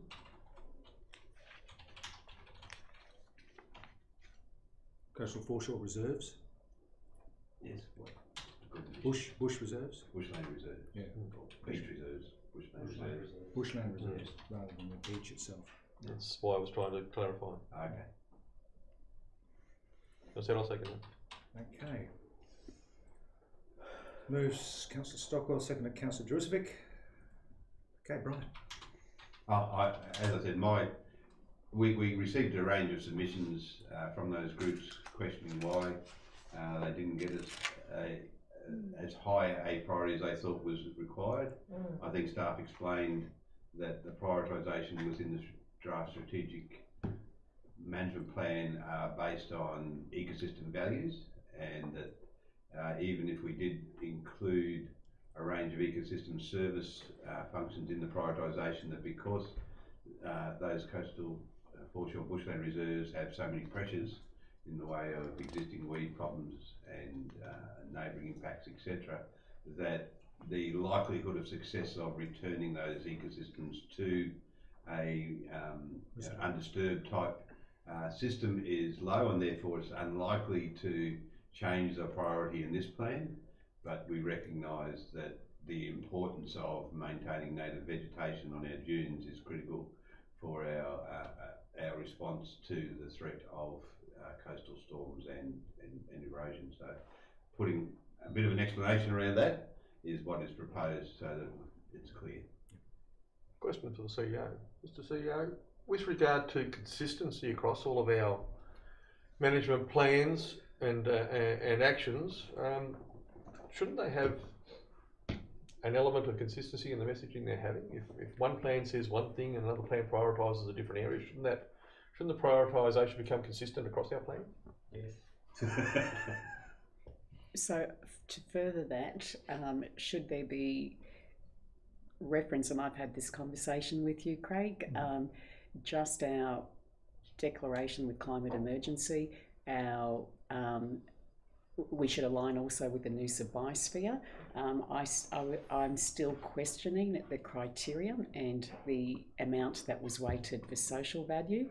Um, and the question I ask of you today, Craig, is um, have we factored in the importance of or the interconnectedness of people and the environment. And um, is that fairly reflected with a 12% weighting in the criteria under social values? Um, look, certainly social and cultural values were both weighed in, which combined to 22% with cultural values as well. Um, uh, cognizant in our mind, this is a bush, this is a plan for our bushland reserve network. The bushland reserve network occupies less than four percent of Noosa Council, and is the pretty much the only land that we have specifically dedicated for environmental purposes. Um, so in that sense, it's not designed to be a biosphere plan where we're weighting equally the role of people in the environment. This is very much for the very small amount of land that we've dedicated for its environmental values. So we felt when the prioritisation was done, it was appropriate on these lands um, to more highly prioritise uh, environmental values and biodiversity than it was for social and cultural values, but they weren't ignored. Asset protection, that's not part of, so, so I'm, I'm going back to the bush carers on the eastern beaches. Um, their role is providing green buffers, um, buffers for coastal erosion and climate change. Mhm. Um, but it's also um, the opportunity we have not to retreat from our obligations as trustees for our beaches, um, which is a major asset. Um, how have we addressed that asset protection, or is that covered in infrastructure management plans, or should it be looked at under this plan? No, look, it's a really good point you raise, Councillor Lorentson. Um, when we prioritise for our day-to-day management of bushland reserves, we don't generally consider asset protection, but it goes to the point of how I don't believe this is inconsistent with the coastal hazard adaptation plan, uh, because where that is looking at the way we're protecting all our assets around the eastern beaches, um, this plan is only a small part of that. So if we compare the way we prioritise our bushland management, for example, on Noosa North Shore versus the eastern beaches, um, the foreshores on the Noosa North Shore have an opportunity for retreat. The ones on the eastern beaches don't. I think that's a really strong case to put extra resources into the eastern beaches, whether that's just vegetation management. The climate hazard, uh, coastal hazard adaptation plan identifies a range of actions to build, build resilience, including managing beach accesses, managing encroachments. Uh, vegetation covers only one of them. Um, so it's not expected that this plan will deal with all aspects of those coastal reserves because it's dealing with a prioritisation across a very large and diverse network. So the question following on from the question I asked the CEO um, is that um, once things like the coastal Haz- hazards adaptation plan are complete, will that mean a revision of the reserve strategic management plan to align more closely with that, or will we just be referring to the coastal hazards adaptation plan for coastal foreshore bushland reserves? I think a key action out of the, the chat, can I call it the chat? I think everyone knows what we're Yep. talking about, um, is the development of a, a coastal foreshore management plan which deals with those specific issues that are related to those eastern beaches. So it'll be a supplement to this just for the coastal, It would- in your mind? That, that's right. Um, the way the Bushland Strategic Management Plan is set out is there are certain locations that require specific management plans. They are generally where um, our normal ecological principles and where the interests of the public um, clash. Um, examples are heritage parklands, where uh, the current strategic plan calls for a detailed management plan for that site, as it does at Noosa Banks, as it does for the whole eastern beaches. And in the current draft budget um, add to the community, there is a budget there to develop a coastal foreshore management plan to deal with all those things falling out of the chat specific to the four dunes in the next financial year. So what we're likely to see as a result of this um, uh, de- deferment is that clarity coming through within the reserve management, uh, bushland reserve strategic management plan to refer to.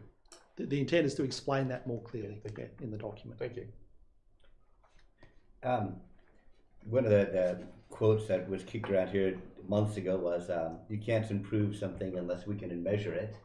Um, you know that I've, I've been requesting uh, measuring or the, the constant um, monitoring of, of the, the beaches, you know, through a monitoring system, and one of those could be drones or whatever, to to to to look at how the coastal erosion is going, how the planting is going to make sure that more paths aren't being there put put in there, that it's not being destroyed. Is um, that I, I don't I don't see it in the plan here, but is that on the cards coming up? So Tom, this, this plan's about all of our bush. Yeah, I know I know. Just I'm just looking at the, Not about the beaches. coastal issues per Yeah. se. So that that's a microcosm of, of what you're. It is, and the, the rationale for having a specific management plan for that whole eastern beaches would do would be to deal with things that are specific to the eastern beaches. Yeah, it's yeah. not to say that technology can't be used across our whole network. I think there's a range of different uses beyond just the eastern beaches uh, where we can use technology to better, better, I guess, prioritise the way we do work. Yeah, um, further to that question, that was, uh, thank you for raising that because that was the, the next line of questioning I had. Um, unfortunately, the PDF takes three days to load on my iPad and I can't go to the specific pages associated with it, but in the, um, no, no, I need the, um, no, yeah, that's the other one, thank you. Um, the draw, diagram, uh, measurement and, uh, and, and clarity around that, I refer to page thirty-six in the strategic plan and, uh, Heritage Park in particular when looking at the um, the the, uh, the diagrams here, around 2010 2018. Um, taking out the red areas, which is the parkland, uh, as opposed to the uh, the bushland, even though the the, the two are, have a synergy. Um, there appears to be, uh, and this this is around the element of of, uh, of measurement and uh, and, um, acknowledging success or otherwise of, uh, of, the work we're undertaking. Over those eight years, would you? It, there appears to be um, a less. Um, I'm trying to think of the word. Uh, a, a lessening of the uh, the biodiversity or the um, uh, the, out, the the environmental outcomes of, of an area like Heritage Park. There that, that there is less green. Okay, take out the red. Uh, and more yellow and, uh, and brown areas, which are very poor and moderate condition of, uh, of bushland. How do we, um, through this strategic plan, how do we measure success and how do we, uh, we ensure that we're working towards uh, improvement and not uh, further de- uh, deg- degradation of uh, challenging areas like Heritage Park? Mm. I mean, to the point of Council Wegener, we, we need to be able to measure, and the bushland operational assessments are our, uh, the methodology we've chosen to try and measure. Um, we need to take what are those essentially quantitative mapping and turn them into a, a qualitative figure, which we can do when we look at it across the whole network. When you look at those two maps, there's a bit of a mix. Some areas have improved and some areas have declined. Um, but even just as we look at that, um, for example, we currently have our Works for Queensland team um, working for us. They've been with us about seven months. Um, it was this mapping through the BOAs that specifically led us to target key areas within Heritage Park for Singapore daisy control on the basis of this measurement we've been able to do. And if we can continue to do that every five years from all of our key sites, we'll be better, we'll have a lot better ability to, when we have resources, um, to be able to target them into the key areas. Well, so we can, yeah, we start targeting the, the, the, the very poors and the poors, and we work our way. We should gradually build to a a, a, a map that shows, you know, at least uh, moderate, good, and very good increasing over time. Would it- think. Certainly, our principle is to start from our strengths and work out. Um, at, at Heritage Park, it's a tier one reserve, so it's been identified as having very high ecological values, uh, and that will need a fair bit of further investment over the next few years to see continued improvement. The other element from memory that gets mentioned there is um, uh, illegal dumping, uh, so green waste dumping within uh, reserves and uh, management of that. Is there much been much been placed in uh, in that regard within the plan? Following the endorsement of this plan, um, it'll um, see, it'll signal to us that it's actually a priority under this plan now, and um, we will gen- we will generally um, start um, uh, ha- um, having a lot better uh, ca- uh, campaign on on our tier one sites. Um, so there will be a lot more of of uh, adjacent landholders and neighbours um, e- e- um, interaction. So um, we sh- we should start see a lot a lot more of an improve a lot more of an improvement in that space. So. That, I, I would take it that's an acknowledgement that a lot of the, the weeds we're seeing are garden escapees, and we could better manage the problem by prevention in the first place than Helping, yes, than, yeah. than cure in the in the final place. Yep. Thank you, Michael. Uh, both. Thank you. Uh, Craig, a quick question. Um, acquisition of new land by the environmental levy. Um, has that been considered and how does council propose to manage, um, given that already we've got 178 bushland reserves, with an operational staff of six people and a budget of 2.4. Um, has that been considered as part of the reserve, uh, as part of the plan? Not as part of this plan. This plan is how we manage the land that we've got. Um, so obviously purchases for in, uh, purchases of land for environmental purposes are driven partly by our environment strategy priorities and also by the conservation land guide, which gu- guideline which identifies uh, which blocks um, are there for purchase. Whenever we bring an individual purchase up to council, we identify what the expected condition of it is, what the expected ongoing maintenance costs of it are as part of that decision. So, for example, we'd be much less inclined to bring a block forward to council to purchase if there was going to be really significant future ongoing maintenance costs, or would balance that against just how high the ecological values are for the site. Can I add an element to that? There was a change, um, the, the way council manages those land acquisitions, uh, during the last term of council from memory, where, um, part of the spend of land acquisitions and part of the spend of environment levy was to ensure that a management plan was done for the acquisitions for the first five years, so that we did, um, land management practices, so that when it did come back to, uh, uh, council reserves, that the, as part of the acquisition, that the land management had been undertaken. Or at least a plan of attack. Uh, yes, yeah, it, it, it depends on the block, but um, any block bought through the environment levy is funded through the environment levy for its maintenance. as Which it wasn't to before we made no, that which change. it wasn't. Which was a because fundamental change that we made. That was why there was a concern about us essentially creating a rod for our Yeah, backs over right. many years That's- of purchasing land Okay. and relying on rates to be able to uh, ma- manage them. Uh, I'll speak to the motion. Great. Um, look, we have a, a motion to refer to Thursday night for a further report, which will articulate the way in which the bushland foreshore reserves will be catered for um, under the, the coastal hazards adaptation plan and the coastal foreshore management plan, which has been um, budgeted for um, in the proposed budget, and um, we can discuss it further then if you like. Councillor, but I'm in favour of this motion to move it forward to Thursday night and get the um, further information. As Yeah. am I. Any other councillors to speak to the motion? No. I'll put the motion. Oh, I, can- I do want to Brian? say, because I think there is some thinking to be done before Thursday. And coming out of the question of Councillor Jurisevic and, and the CEO's response and coming from the question on social values. And the thing, we've got two options on Thursday. One is we um, are happy with adding a paragraph or two uh, to the plan to explain where we're heading. And the other option is to go back and, and review from a policy perspective whether the prioritisation in the draft is the way we wish to go. And the draft financial sustainability policy um, this year has been proposed to say that we uh, invest in natural areas or natural assets based based on their biodiversity value and their ecosystem service value. And this plan is saying we, in our bushland reserves, we're putting a 47% weighting on biodiversity value. Um, then we're adding some ecosystem service type concepts in there. So ecosystem services can be provisioning, you know, things like food production, wood and fuel, in this case, water. So there is a score in the prioritisation about waterways, and that's implicitly saying there's inherent value of clean water through natural areas.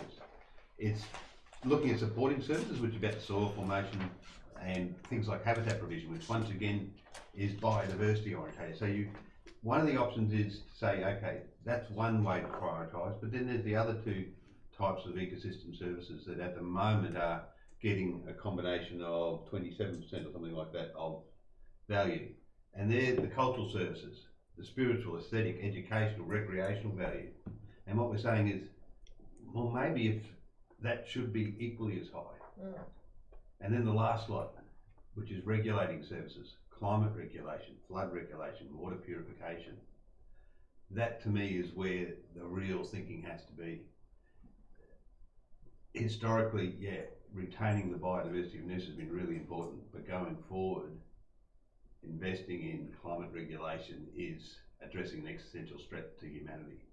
So we have to be, really clear either in the words or whether we ask some staff on Thursday night to go back and we revisit this from a whole policy perspective about those fundamental questions in the prioritisation which are reflected by the numbers besides the different criteria we've currently got in there and whether we want to go into that process again to come up with a different solution.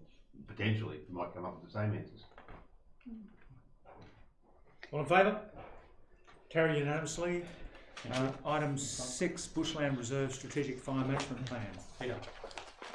Thank you. Thank you. Michael. Thank you. Are you going to be downstairs? Yeah. that's all right.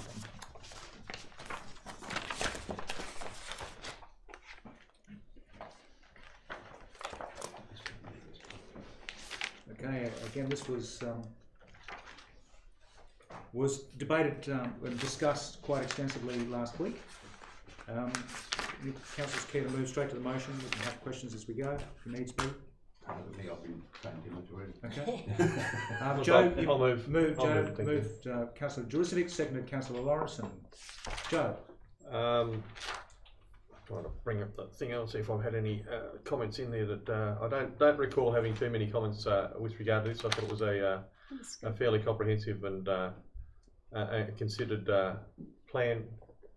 Uh, fire management obviously has some uh, some challenges for the future. We're looking at uh, changes in our in our financing of fire managing in our in our budget currently and being clarity and getting a, a, a greater um, engagement of the of the entire population, not just the uh, rural regional areas. And I'm sure uh, many uh, many areas such as the Peregian residents will be appreciative of the the amount of effort that went into fire management to protect the uh, community. Um, I commend staff for uh, for their work on this. Uh, I didn't have too many issues with it uh, personally. Uh, and I wait to hear the uh, comments of my fellow councillors before I close. I, I have some questions. I, I wasn't present when this was discussed on Monday, but um, in the peer review report, it says it must be noted that the reviewers received no information after multiple requests from the Queensland Rural Fire Service in relation to the local government area QFES bushfire management plan.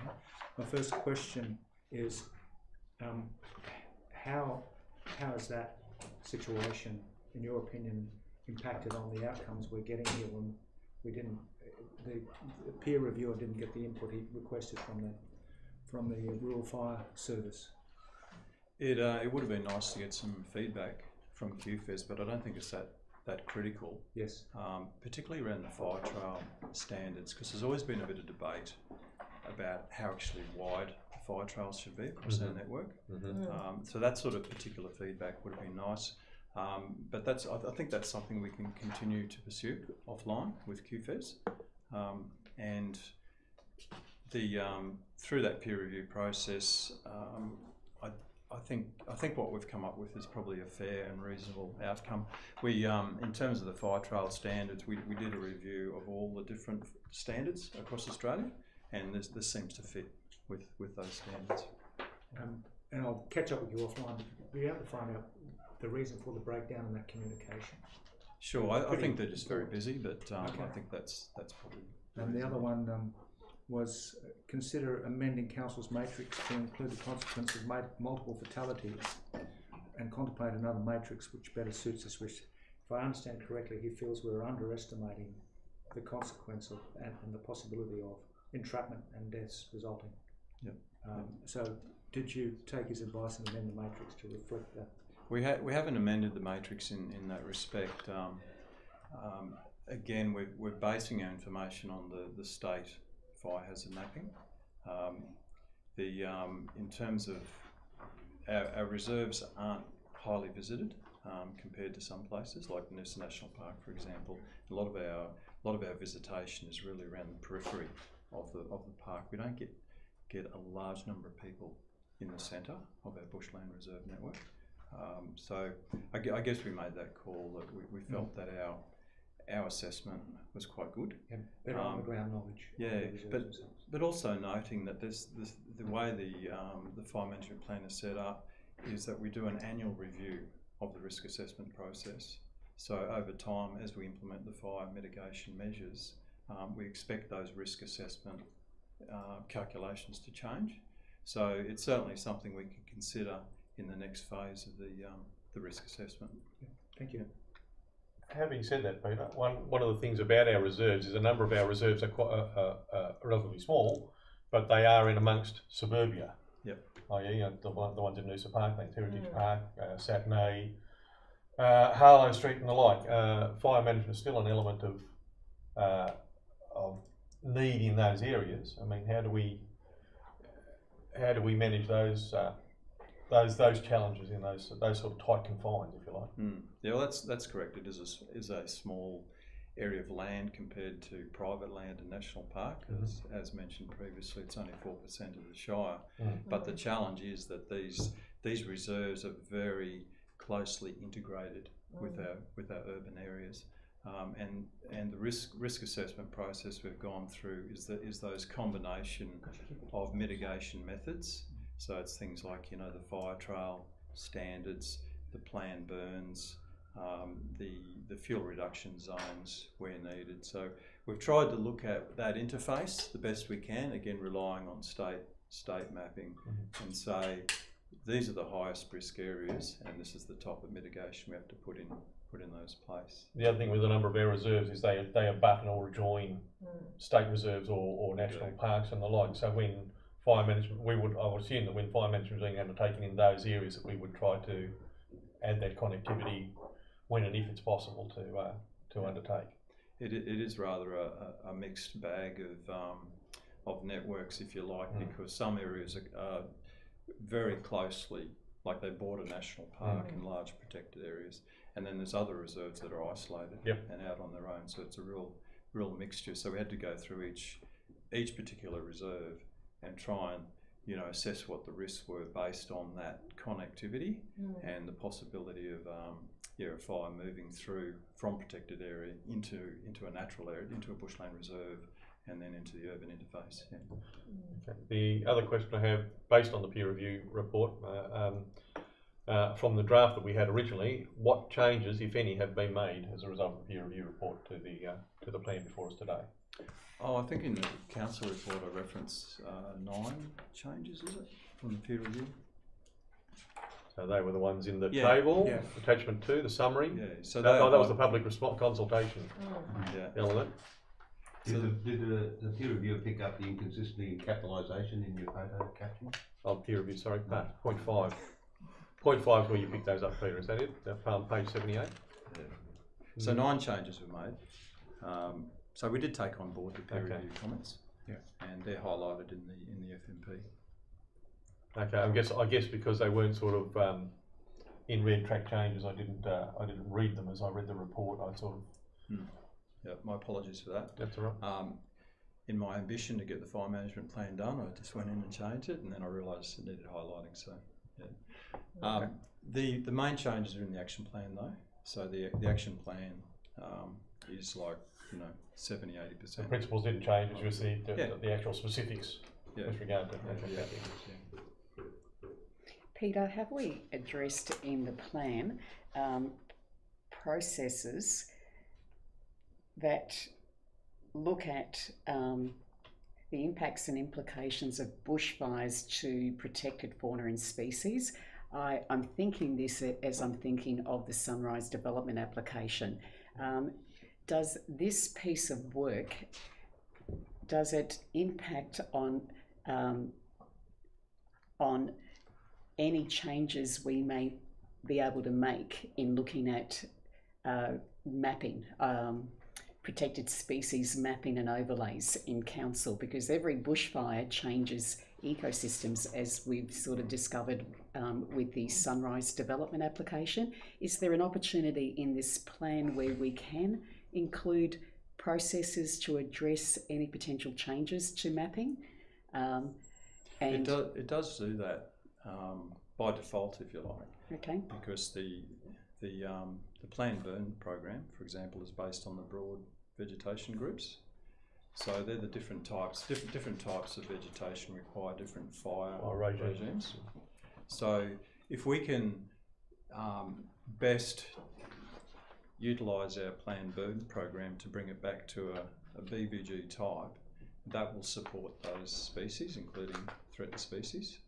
Um, probably the challenge again is in particularly around urban areas, the more populated areas, the chance of getting more fire than what you'd like and actually changing the ecology of that site is quite high. so that's something that's uh, you know sometimes out of our control, you know, from indiscriminate fires, whatever. But um, by trying to model the, the base, the habitat that we're you know trying to achieve through our pla- plan burn program, that will support those species.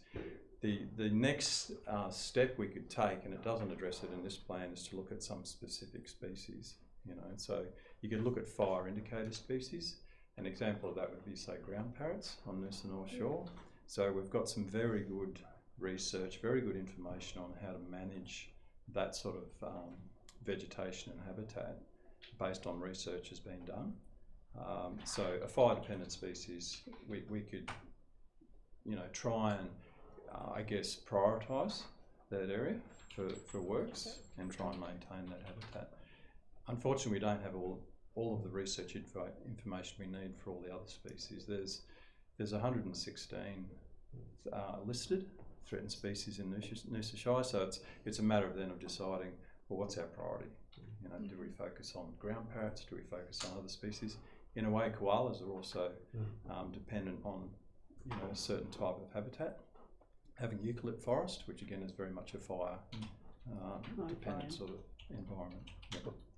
I assume, sorry, I assume that'd lead you to some sort of checkerboard approach. You wouldn't, wouldn't burn an entire area with the spe- with a vulnerable species in there in particular. You'd burn a small section so that they could continue to live around it, and as that that area's that area's being burnt in that year, the next year you may burn another section of that area and Yeah, so if, if we've got a large enough um, parcel of land, Pa- piece it we can, we so- can have fire management units within that parcel. So then we can do, and, and that's what we do typically. We'll do this this block one year, maybe this block Yeah. a couple of years later. It allows for movement of. That's what I got from the, uh, provides that sort of diversity. For the smaller blocks, we have to if we can't if we haven't you know can't do that, then we're looking at a mosaic burn, Mm. which we try and do as well for our small blocks. But that's where we're looking for a patchwork of, of um, burns. Um, again, to give fauna movement, to create a bit of diversity in the environment. The other element uh, with regard to burns is how successful is it as a means of weed management as well? I mean, do we do we actually eradicate, or can we um, um, limit or um, discourage weeds uh, by uh, by a plan of burn? Because it's the the native species that tend to uh, recover better than the weed species in some instances.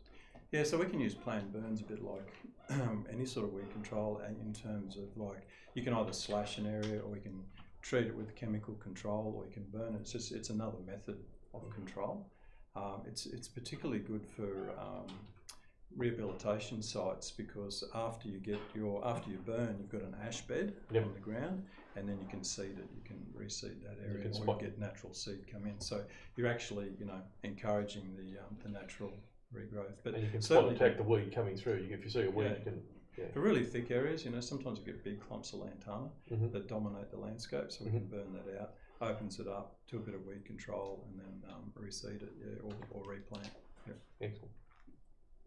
Just to come to mind, in terms of, had some very hot fires in 219, 220. Mm. Did we have any learnings there that there may be some local understory species that actually require a hot fire to start the succession process or not? I'm just thinking that, you know, obviously there is, in Victoria, there's certainly the mountain ash requires a hot fire to, to reseed, uh, to resprout, I should say, you know, from seed, but anything that's of interest, I'm thinking more of the listed species, though we know Yeah. ground parrot, if you leave it too long between fire, you lose its habitat, but is there anything else that we've identified? It, uh, when we had the 2019 fires up at Cooroibah, our rainforest areas didn't actually burn. It just singed the edges, if you like, so it actually stopped the carry of the fire through the landscape. Um, but around those edges, um, we've actually seen some recruitment coming up of rainforest species. Uh, we, we thought, oh, that might actually knock that, that rainforest back a bit, but we're actually seeing some, some regeneration there. So that was, that was Well, one. that's, I thought that was a typical thought process that yeah, once once the rainforest is damaged by a, a hot burn, you you won't see it recover. So it's interesting to see it actually grabbing. it. We There hope go. there's some good rain after the Christian one, but I know quarter was a bit dry afterwards. Yeah. There you go. One last question uh, from me. Um, the councillors were unanimous in supporting the budget item to resource this. Can I just refresh for the benefit of those listening? What um, what will that money go towards? What sort of equipment and personnel will you be using that money for? So that's, did you want to answer that? I can try and Yeah, do, yeah. yeah. Yeah, yeah. Um, it'll we'll have a dedicated council fire management officer with specific expertise in fire management. Uh, we'll be training a range of staff across council in controlled burns, and over the next two years, we'll be building our capacity to undertake controlled burns ourselves within council. One of the key challenges we've had previously, and we envision um, having with this plan if we didn't do something different, was the fact that we've been using contractors to do burns, and they're excellent contractors, but they're just under a lot of demand. Um, there's a lot of pull, and on the odd occasion, the conditions are really good. It can be really challenging to get them to Noosa as opposed to a bunch of other different places. So we felt it was essential to build our capacity to do it ourselves. Um, it won't happen overnight. It's very specific skills, but we we've got a three-year transition plan where we're going to start. By three years' time, we expect to be doing the majority of our control burns on council land ourselves, um, and of course, continuing to work with all the other management agencies doing burns as well. So what you're essentially saying is we'll be better resourcing our internal staff to manage our fire, strategic fire management plan. We- th- th- That's our intent, um, and I think the strategic, the fire management plan calls for roughly seven controlled burns a year. We don't believe we could achieve that with our current system of utilising contractors, regardless of funding. So this is our methodology to get us to where we need to be. Thank you. I'll speak to the motion. Um, thank you, uh, Peter and Craig, for this body of work. It's uh, tangible evidence that um, the council is proactively moving towards um, a more active uh, approach to managing fire on the council's reserves, which is only 4% of, of reserves, but it is part of this new council's commitment to be more proactive in that space following what we learned and experienced during the Peregian and Cooroibah fires in 2019. Um, so thank you for the work you've done on that. Um, the, uh, I know you'll be working hand in glove with QPWS and QFES to keep the Shire um, safer from and, and residents safer from fire. And also, it'll do, go a long way towards alleviating the very real concerns that residents do have about the threat posed by fire, given that we are facing, uh, facing changing climate, hotter, drier summers, and uh, greater fire risk going in the future. It's very responsible, proactive approach, and thank you for the work you've done on that. Um, any other councillors to speak to the motion? Uh, Joe, do you wish to close? And to reiterate the points that you just made there, yeah, I'd like to thank the staff for their time and effort. Uh, I, I think this goes uh, a long way towards our uh, a better understanding of our uh, roles and responsibilities in managing our own bushland reserves. Uh, uh, again, uh, just to clarify, 4% of the entire Shire or 4% of all the reserves? The entire Shire. The entire Shire, that's, uh, yeah, so, it's a 4% land uh, of the entire Shire landmass that uh, that uh, we're responsible for managing. But again, we, we work in conjunction with all those other agencies to uh, ensure that all those other reserves uh, are looked after, and uh, um, and a great partnership with QFES and QPWS in in undertaking that very large task because we are we do have a significant amount of. Uh, of, of reserves in and around us, and national parks and state uh, state forests. But uh, um, good work, guys. Thank you. Put the motion. Those in favour? That's unanimous. Thanks, Peter. Thank you, Peter. Thank you. Now got item, move to item seven, which is the Noosa Biosphere Reserve New Partnership Agreement. Uh, hello, Craig. Thank you, Craig. Um, this was discussed uh, last week also. Um, I had a, um, a motion. Or Karen, did you want to? Um, did you want to move yours, Karen, or do you? Yes, can I move that? Of course. Do- Should I move, move it now or at the end of You can move it now, and you can speak to it now, and, and we can ask questions as we go. Sure, Yeah. okay. Can I put that forward now? Just read out what the motion is, please. Uh, the council note the report by the Environmental Services Manager to the Planning and Environment Committee dated eight June twenty twenty-one. And defer consideration of the matter to the ordinary meeting dated seventeen June twenty twenty-one. To allow councillors to hold a workshop to obtain more information on the changes proposed in the new partnership agreement. Um, okay. Uh, councillor second that, second that, please. For the purpose of the debate, uh, councillor Stockwell. Karen. Thank you. Oh, thank you. Yeah, um, after having done considerable readings and putting forward questions to the staff and the fact that the mayor is absent from the meeting, I just think we need to put that forward to get further um, information. I haven't had time personally to drill down into what all that means, um, especially given um, the increase for four years of the contract. Um, and in the back of my mind, I'm always referring to the Kin Kin Quarry. We want to make sure we get it right. We're making um, changes, and we want to make sure that this um, is be- is benefit to all the players involved. Um, so that's why I put the recommendation up. If the councillors wish to speak to the motion. Oh, only a question, are we happy that we've got enough time before Thursday? That's right. And is there an urgency in having it because it runs out in June third? There is an urgency in getting it adopted. Yeah. Um, and if you need, want to have a workshop, we'll have to get it organised before Thursday. Um, Great, Anthony, you, you want to say something there? Can I go up to the? Yeah, please, approach the bench. Excuse me. But you've always wanted to say that. The only, the only non-lawyer in here ever wanted to say that. Uh, thank you, councillors. Um, I just, uh, it, it is, the timing is probably um, against us and, and Craig has some personal leave for the next couple of days and I'm conscious of the item before. There's a, there's some follow-up work, so um, I think obviously the discussion will take place.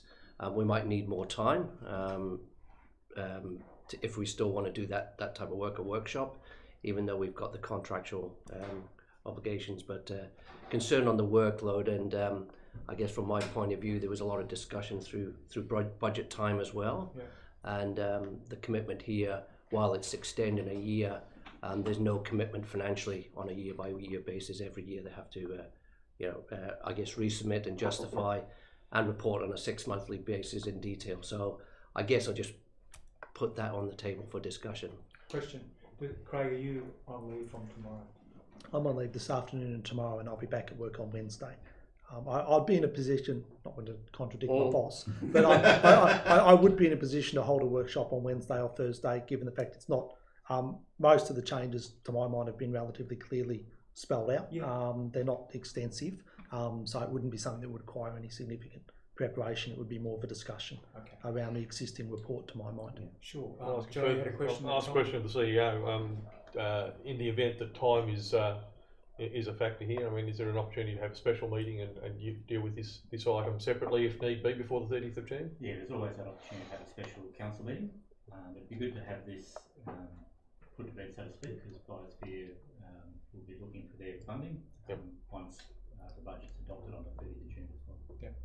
Can I Tom, ask? Are you, sorry. oh, Tom, so, Tom, yeah. um, Craig, you were, you're a part of the, the writing of the agreement Mhm. from the get-go, from what I understand, it was, Yep. um, you, uh, Rex and Rod Smith. That's But correct. you were absolutely involved in, in, in the preparation of this document. I have. I've been involved in all aspects, um, not only in the drafting of it, working with NBRF, but also the liaison with our governance team, liaison with King and Co over the legal review that was done of the document as well, which informed the final version. And so, uh, question to the CEO, um, I mean, this, this is our time to ask questions. I mean, if we had questions of this particular document, we had a committee meeting, we have today, Craig's in the room. Um, I, I mean, if- I had questions, I would definitely be ready to go and, you know, then that's what we're here for. This, that's what today is for, isn't it? Correct. Look, I'll speak to, oh, Amelia, you have Oh, question or comment? my question is, um, which of us councillors want the workshop? I'm happy to support you, Karen, but I've actually done enough investigation over the last week that um, I don't require it. So my question is, um, what what is the feeling? Um, the emotion there is to allow councillors to hold a workshop.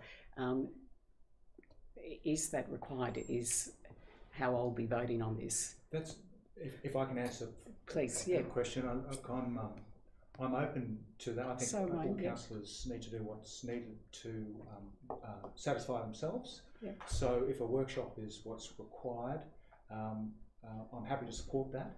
But um, if there's time between now and Thursday for Karen to meet one on one with, with Craig, would that be sufficient? Or would you want all of us there, Karen?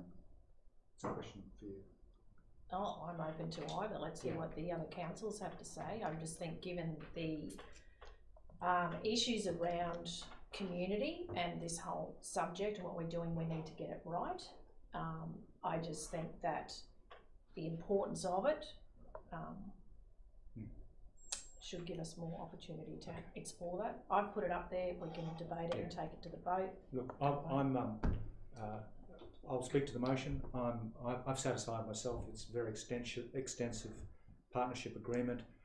Um, some of councillors have been on this journey quite a long time, but I respect the right um, and the diligence shown by the new councillors to want to get across the information. I'm happy to support um, the, the, the motion as it is for a workshop for all of us to, to attend, to make doubly sure that we're all on the same page with this. I'm open, I'm open to it, uh, I, I support the, the motion.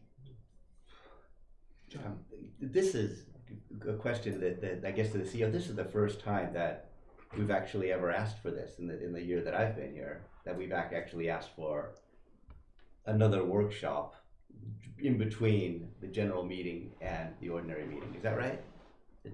Um, look, I can't, I can't recall another one, but there may have been, I just can't recall. There's one recent, I thought there was one I thought recently. there I was one thought there was one recent. recently. There may have been. yeah.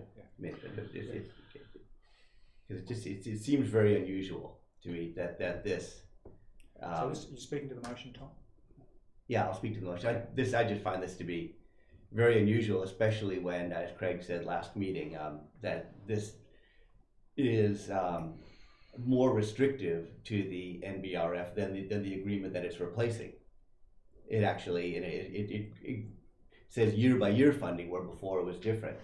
Um, uh, it, it is it is a much more restrictive document, and uh, so when you when you read it and you and you, it all and you ask Craig some basic questions, I don't see it necessary to in this instance of, of this yeah I, I just don't see any need at all for another to, to, to, to risk postponing this to have a, a meeting for the meeting before Thursday. I mean there, there's there's lots of big big issues. This is not one of them. This is a pretty pretty clear cut um, thing. This is, I think it sets a precedence for if we didn't ask the questions in the, in the committee and didn't ask the questions in the general meeting, then we'll have, a motion for a special meeting, you know, to, to drag, um, Craig and the team in here again to answer questions that we should have had ready before. So I don't, I don't see any reason to, um, to have a further meeting.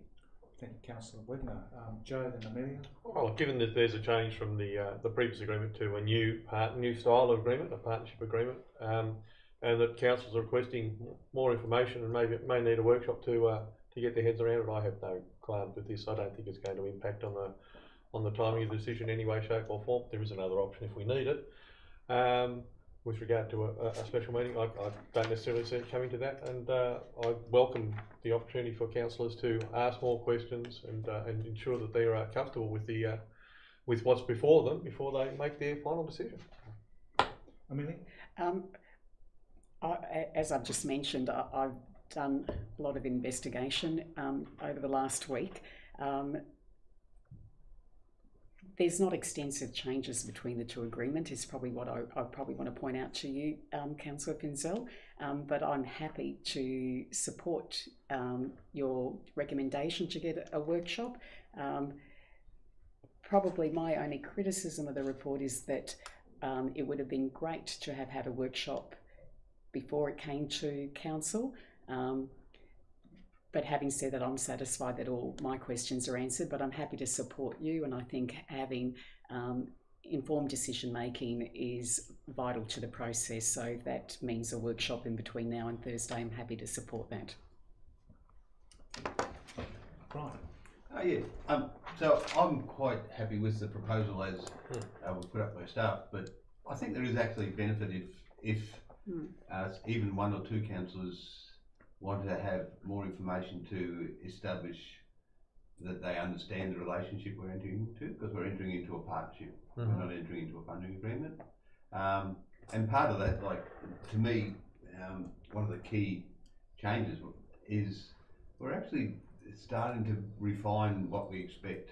You know, where we'd like NBRF to focus from our perspective and what we'd like them to do. So in terms of, we've had conversation before about the role of council in sustainable science brokerage. And what we're sort of saying in this agreement is we see that as a valuable role that NBRF could play and that we might in future ask them to investigate or, or, or try and get um, research partnerships or projects around questions that we like to be investigated. So it is important, I think, um, and if we can save it at the general meeting so the dinner doesn't get cold, I'm happy to discuss it beforehand.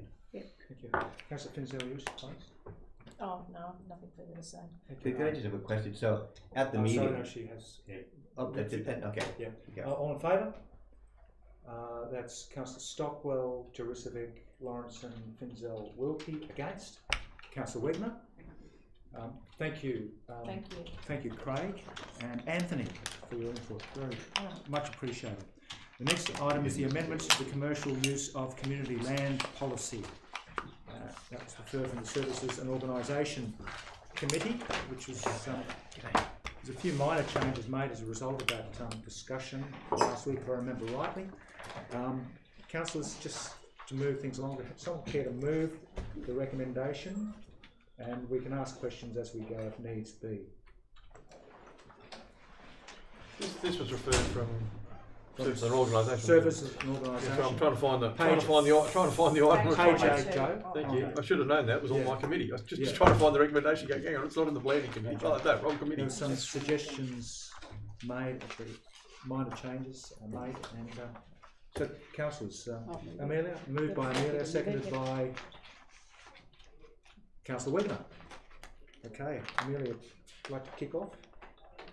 And, and nothing, um, I, I think everything was sort of considered at the Services and Organisation Committee meeting, nothing more to add, um, than just thank you and, um, just bringing the two thousand and fourteen document to two thousand and twenty-one, thank you. Yeah.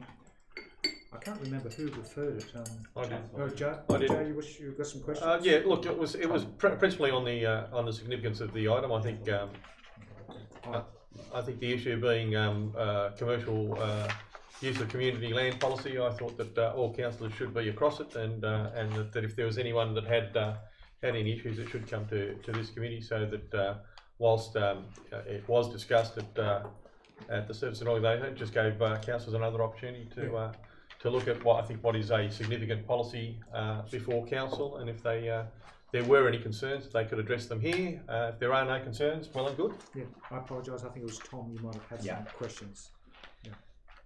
Just in the very beginning, um, the the goal in the background is so that uh, community use is not unreasonably diminished and the environment is preserved. And there's quite a bit of work going on in front of Netanya on the on the beach, the main beach. And of course, we've been talking about Sails. Um, I particularly talk about Bistro C, and um, the the forefront there um, is that are we looking at that as well, you guys, with this, in this policy? Through the chair, uh, councillor, are you talking about the beat, the parade in front of the boardwalk? Yeah, the, the, Beach. the, the, the, um, the land that, the community land that has been, that is used by commercial, um, use, uses. the, uh, Outdoor- Yeah, outdoor so- dining Outdoor dining. Yeah, well- But, but also the barbecue that's Well, behind a a It, fence. it doesn't apply to footpath trading permits. Yeah. This permit does not apply to that, so just, that's just on page eleven there as well. Uh, what it does refer to is all of the other use areas. Um, so particularly the, the balanced part of the beach, and you'll see their policy scope. It includes freehold land, trustee land under the control of council such as parks, reserves, roadways, pathways, foot, footpaths, foreshores and bathing reserves. So in terms of Noosa Main Beach, roughly speaking, in front of the boardwalk is the area that you would refer to as the, the beach area. hmm Then it says, um, the commercial use activity must enhance the visitor and local experience of the Noosa Shire. And of course, I'm a stickler for that because as, as, um, Brian pointed out in front of Netanya, there was on public property, a barbecue that the public was not able to access. Um, and, and I believe. from Question, bus- question, Tom? Oh, Yeah, question. Rather putting a view. Yeah. question. um, will you, I, I'm, uh, will you be looking at those spots in particular? I- I can answer that one. Um, that issue did come up in the um, development application that was considered last year, and there was a condition about that encroachment issue, which sort of came to light as a result of that development application and approval. So a condition was applied. Um, the other issue that came up was around sales, the area of Sails's um, footpath dining permit.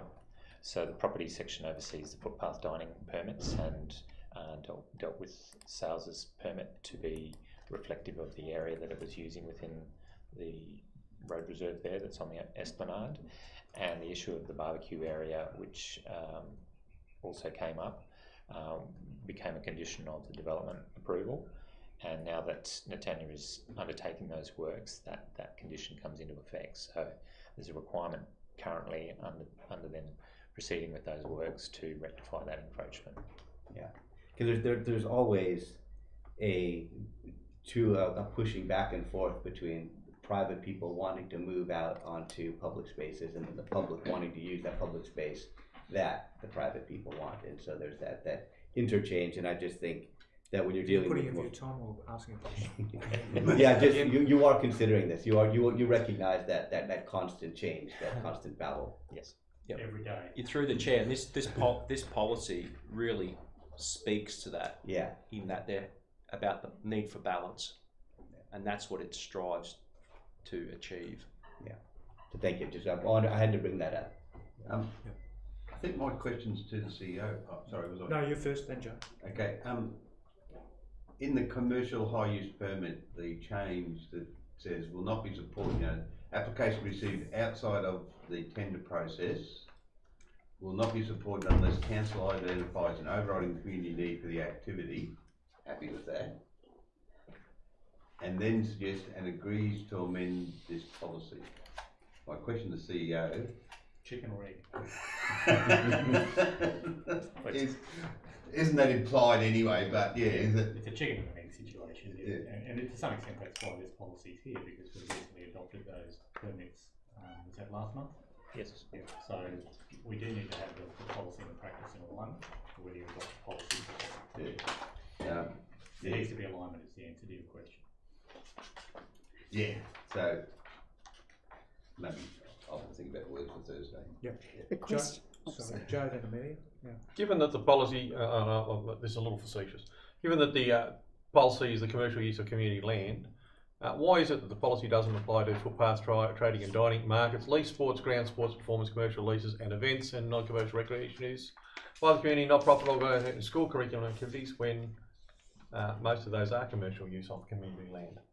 Why do we differentiate? Well, through the chair, councillor, they're covered under different tenure arrangements, different policies exist. This is a specific area that we cover differently because they're different permits as well. So this, this, this, this policy is intended to apply specifically to those high use and, and or low use commercial uses on community land Correct. only. Correct. That's, I'm just trying to clarify why there was that differentiation between, thank you. Amelia. Um, I, I think at the services and organisation meeting, I um, asked the question of whether some of our core principles, um, our corporate plan, human rights, local economic plan, um, all that can be referenced in all our policies, not just this policy. And I did get a reply from um, the CEO saying that that is in the process. Um, governance is actually looking at that at the moment. So thank you. Any other councillors wish to speak to the motion? Merely wish to close? No. Put Thank the you, motion. guys. Those in Yeah. favour? That's unanimous. Thank you, Clint. Thank you, Dennis. Far too easy. The last item is, uh, oh, sorry, the third last item is financial performance report for May, the month of May, and welcome Trent. The only one coming directly to Yeah. general. Direct to um, general. Welcome Trent. Welcome Trent. Afternoon, councillors. Joe? Capital expenditure, um, I think we've taken a huge leap in the last month from where we were previously, though we're on track, it was the only one that was potentially flagged. How are we tracking for,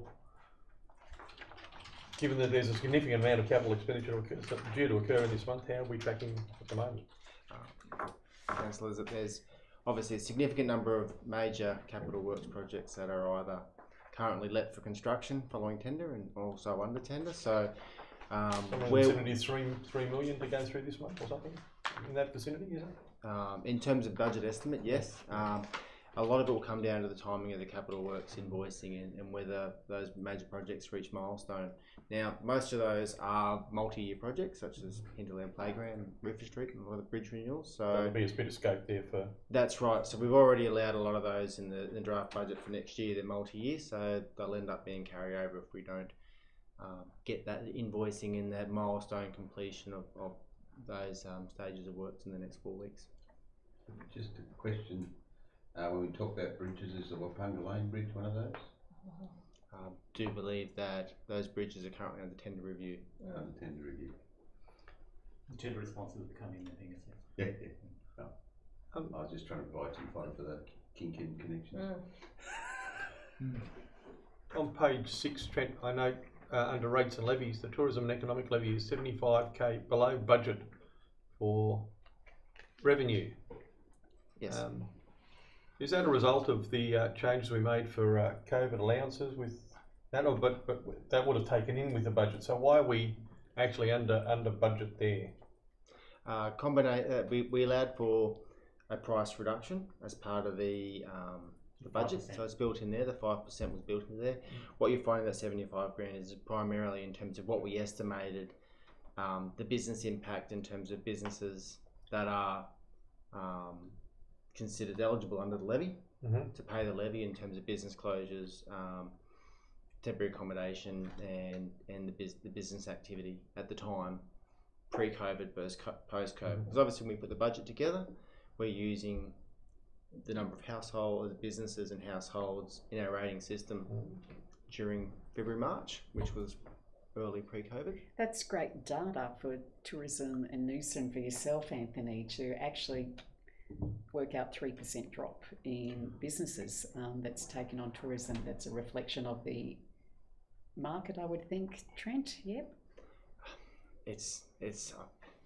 I'd have to I'd have to defer that one to the Yeah, but to I'd love to uh, analyse potentially that an information. consultant to estimate what, what the cycle's done over the last twelve months because obviously this is um, both the July rating levy as well as the January. Um, now I'd have to, we'd have to come back and do some more analysis on whether it's primarily been from the July rates issue or whether that's come back up in the January rates issue. I, I don't have that information at hand, but it's, it is, it'd be an interesting analysis. I agree.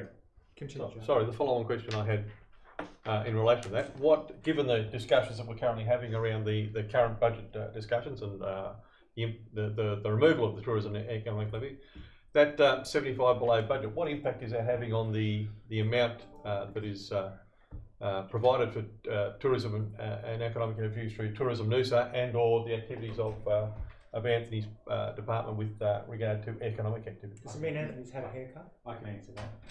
Um, it's the same as the decision that was made by council to cut the levy in terms of the budget, in the budget process, and that is, there is zero impact on Tourism Noosa because their funding is guaranteed under the funding agreement, that's what determines how much money is paid. So any, um, reduction in the tourism and economic levy impacts on other economic development activities that, uh, our staff are undertaking. Um, and that impacts on, um, Anthony's area, uh, but there's no impact on Tourism Noosa. Thank you, Mr. CEO. That was the answer I was expecting, and that's what I wanted to clarify.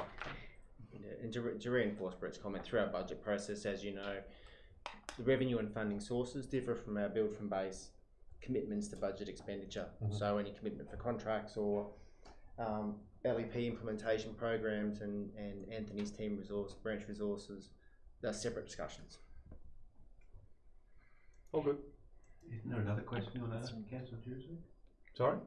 No, Amelia, you had a question? Oh, uh, I always make a song and dance about legal costs.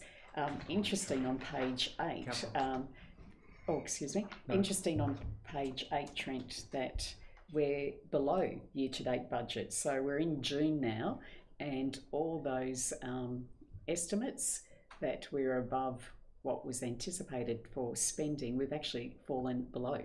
Um, is that how I'm reading that correctly? Correct. So at, at uh, budget review three, Yep. which was undertaken, we did the, the work on that in, in March and then I adopted that in April.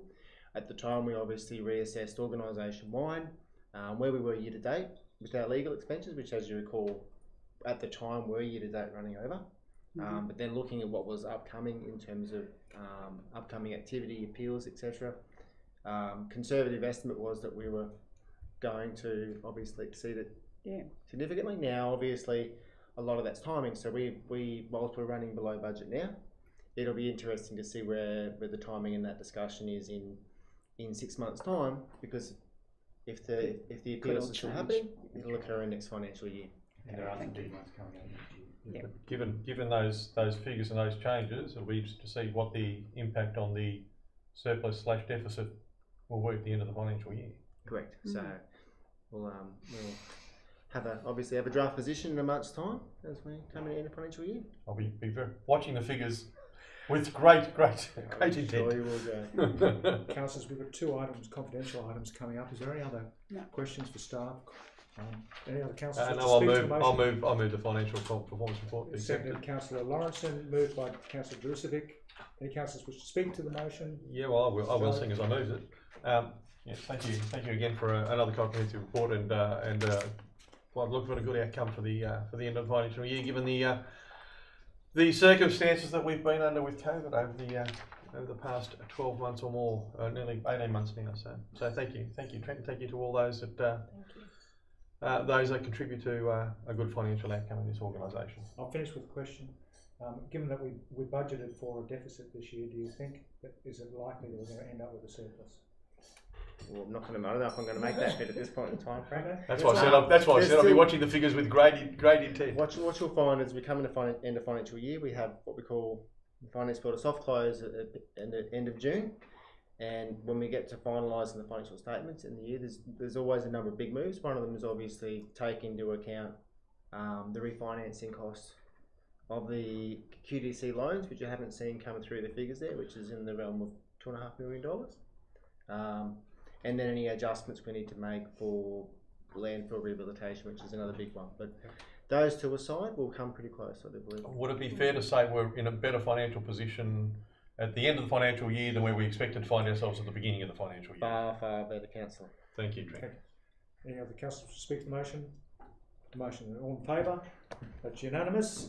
Thank you, Trent. Thank you. Back Now, to planning. councillors, um, Items three and four. We The question have- is whether you want it or you need to. Yep. Close the public. Um, Or not. Okay. Come on up, Kerry. There's a motion before us whether we go into confidential session to discuss council's legal position on a couple of items. I'm happy to move that because I do want to talk about tax, which should be done in closed session. All right, move councillor Stockwell, seconded councillor Wegener. All in favour? That's unanimous. So live streaming.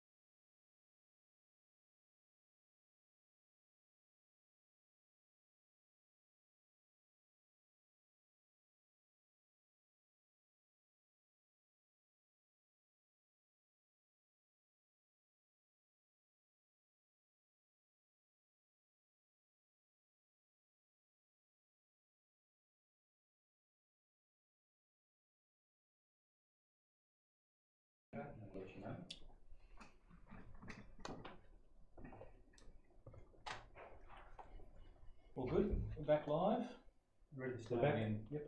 Okay, welcome back everybody. We're uh, discussing items um, three and four. That's the Planning and Environment Court Appeal number D176 of 219, refusal of application 16 ancillary dwelling units at 64 Gateway Drive, Noosaville. And it- we have a, a motion here to defer consideration of the matter to the ordinary meeting dated 17th of June to allow staff time to provide additional conditions for consideration by councillors. To Councillor. Stockwell, seconded Councillor Lorentson. Councillor Stockwell, you wish to speak to the, councillors wish to speak to the motion. All in favour? That's unanimous. We now have item four, which is Planning and Environment Court Appeal number D one oh two of twenty twenty. Refusal of ancillary dwelling unit at one thirty-three Gateway Drive, Noosaville. Also, the motion is to defer consideration of the matter to the ordinary meeting dated seventeenth June twenty twenty-one to allow staff to provide additional conditions for consideration by councillors. We have a mover, please. Councillor Finzel, seconded by Councillor Wegener. Anybody wish to speak to the motion? Put the motion, those in favour? That is unanimous. And that is the end of the meeting. Thank you, Kerry. Thank you, Thanks, Chair. CF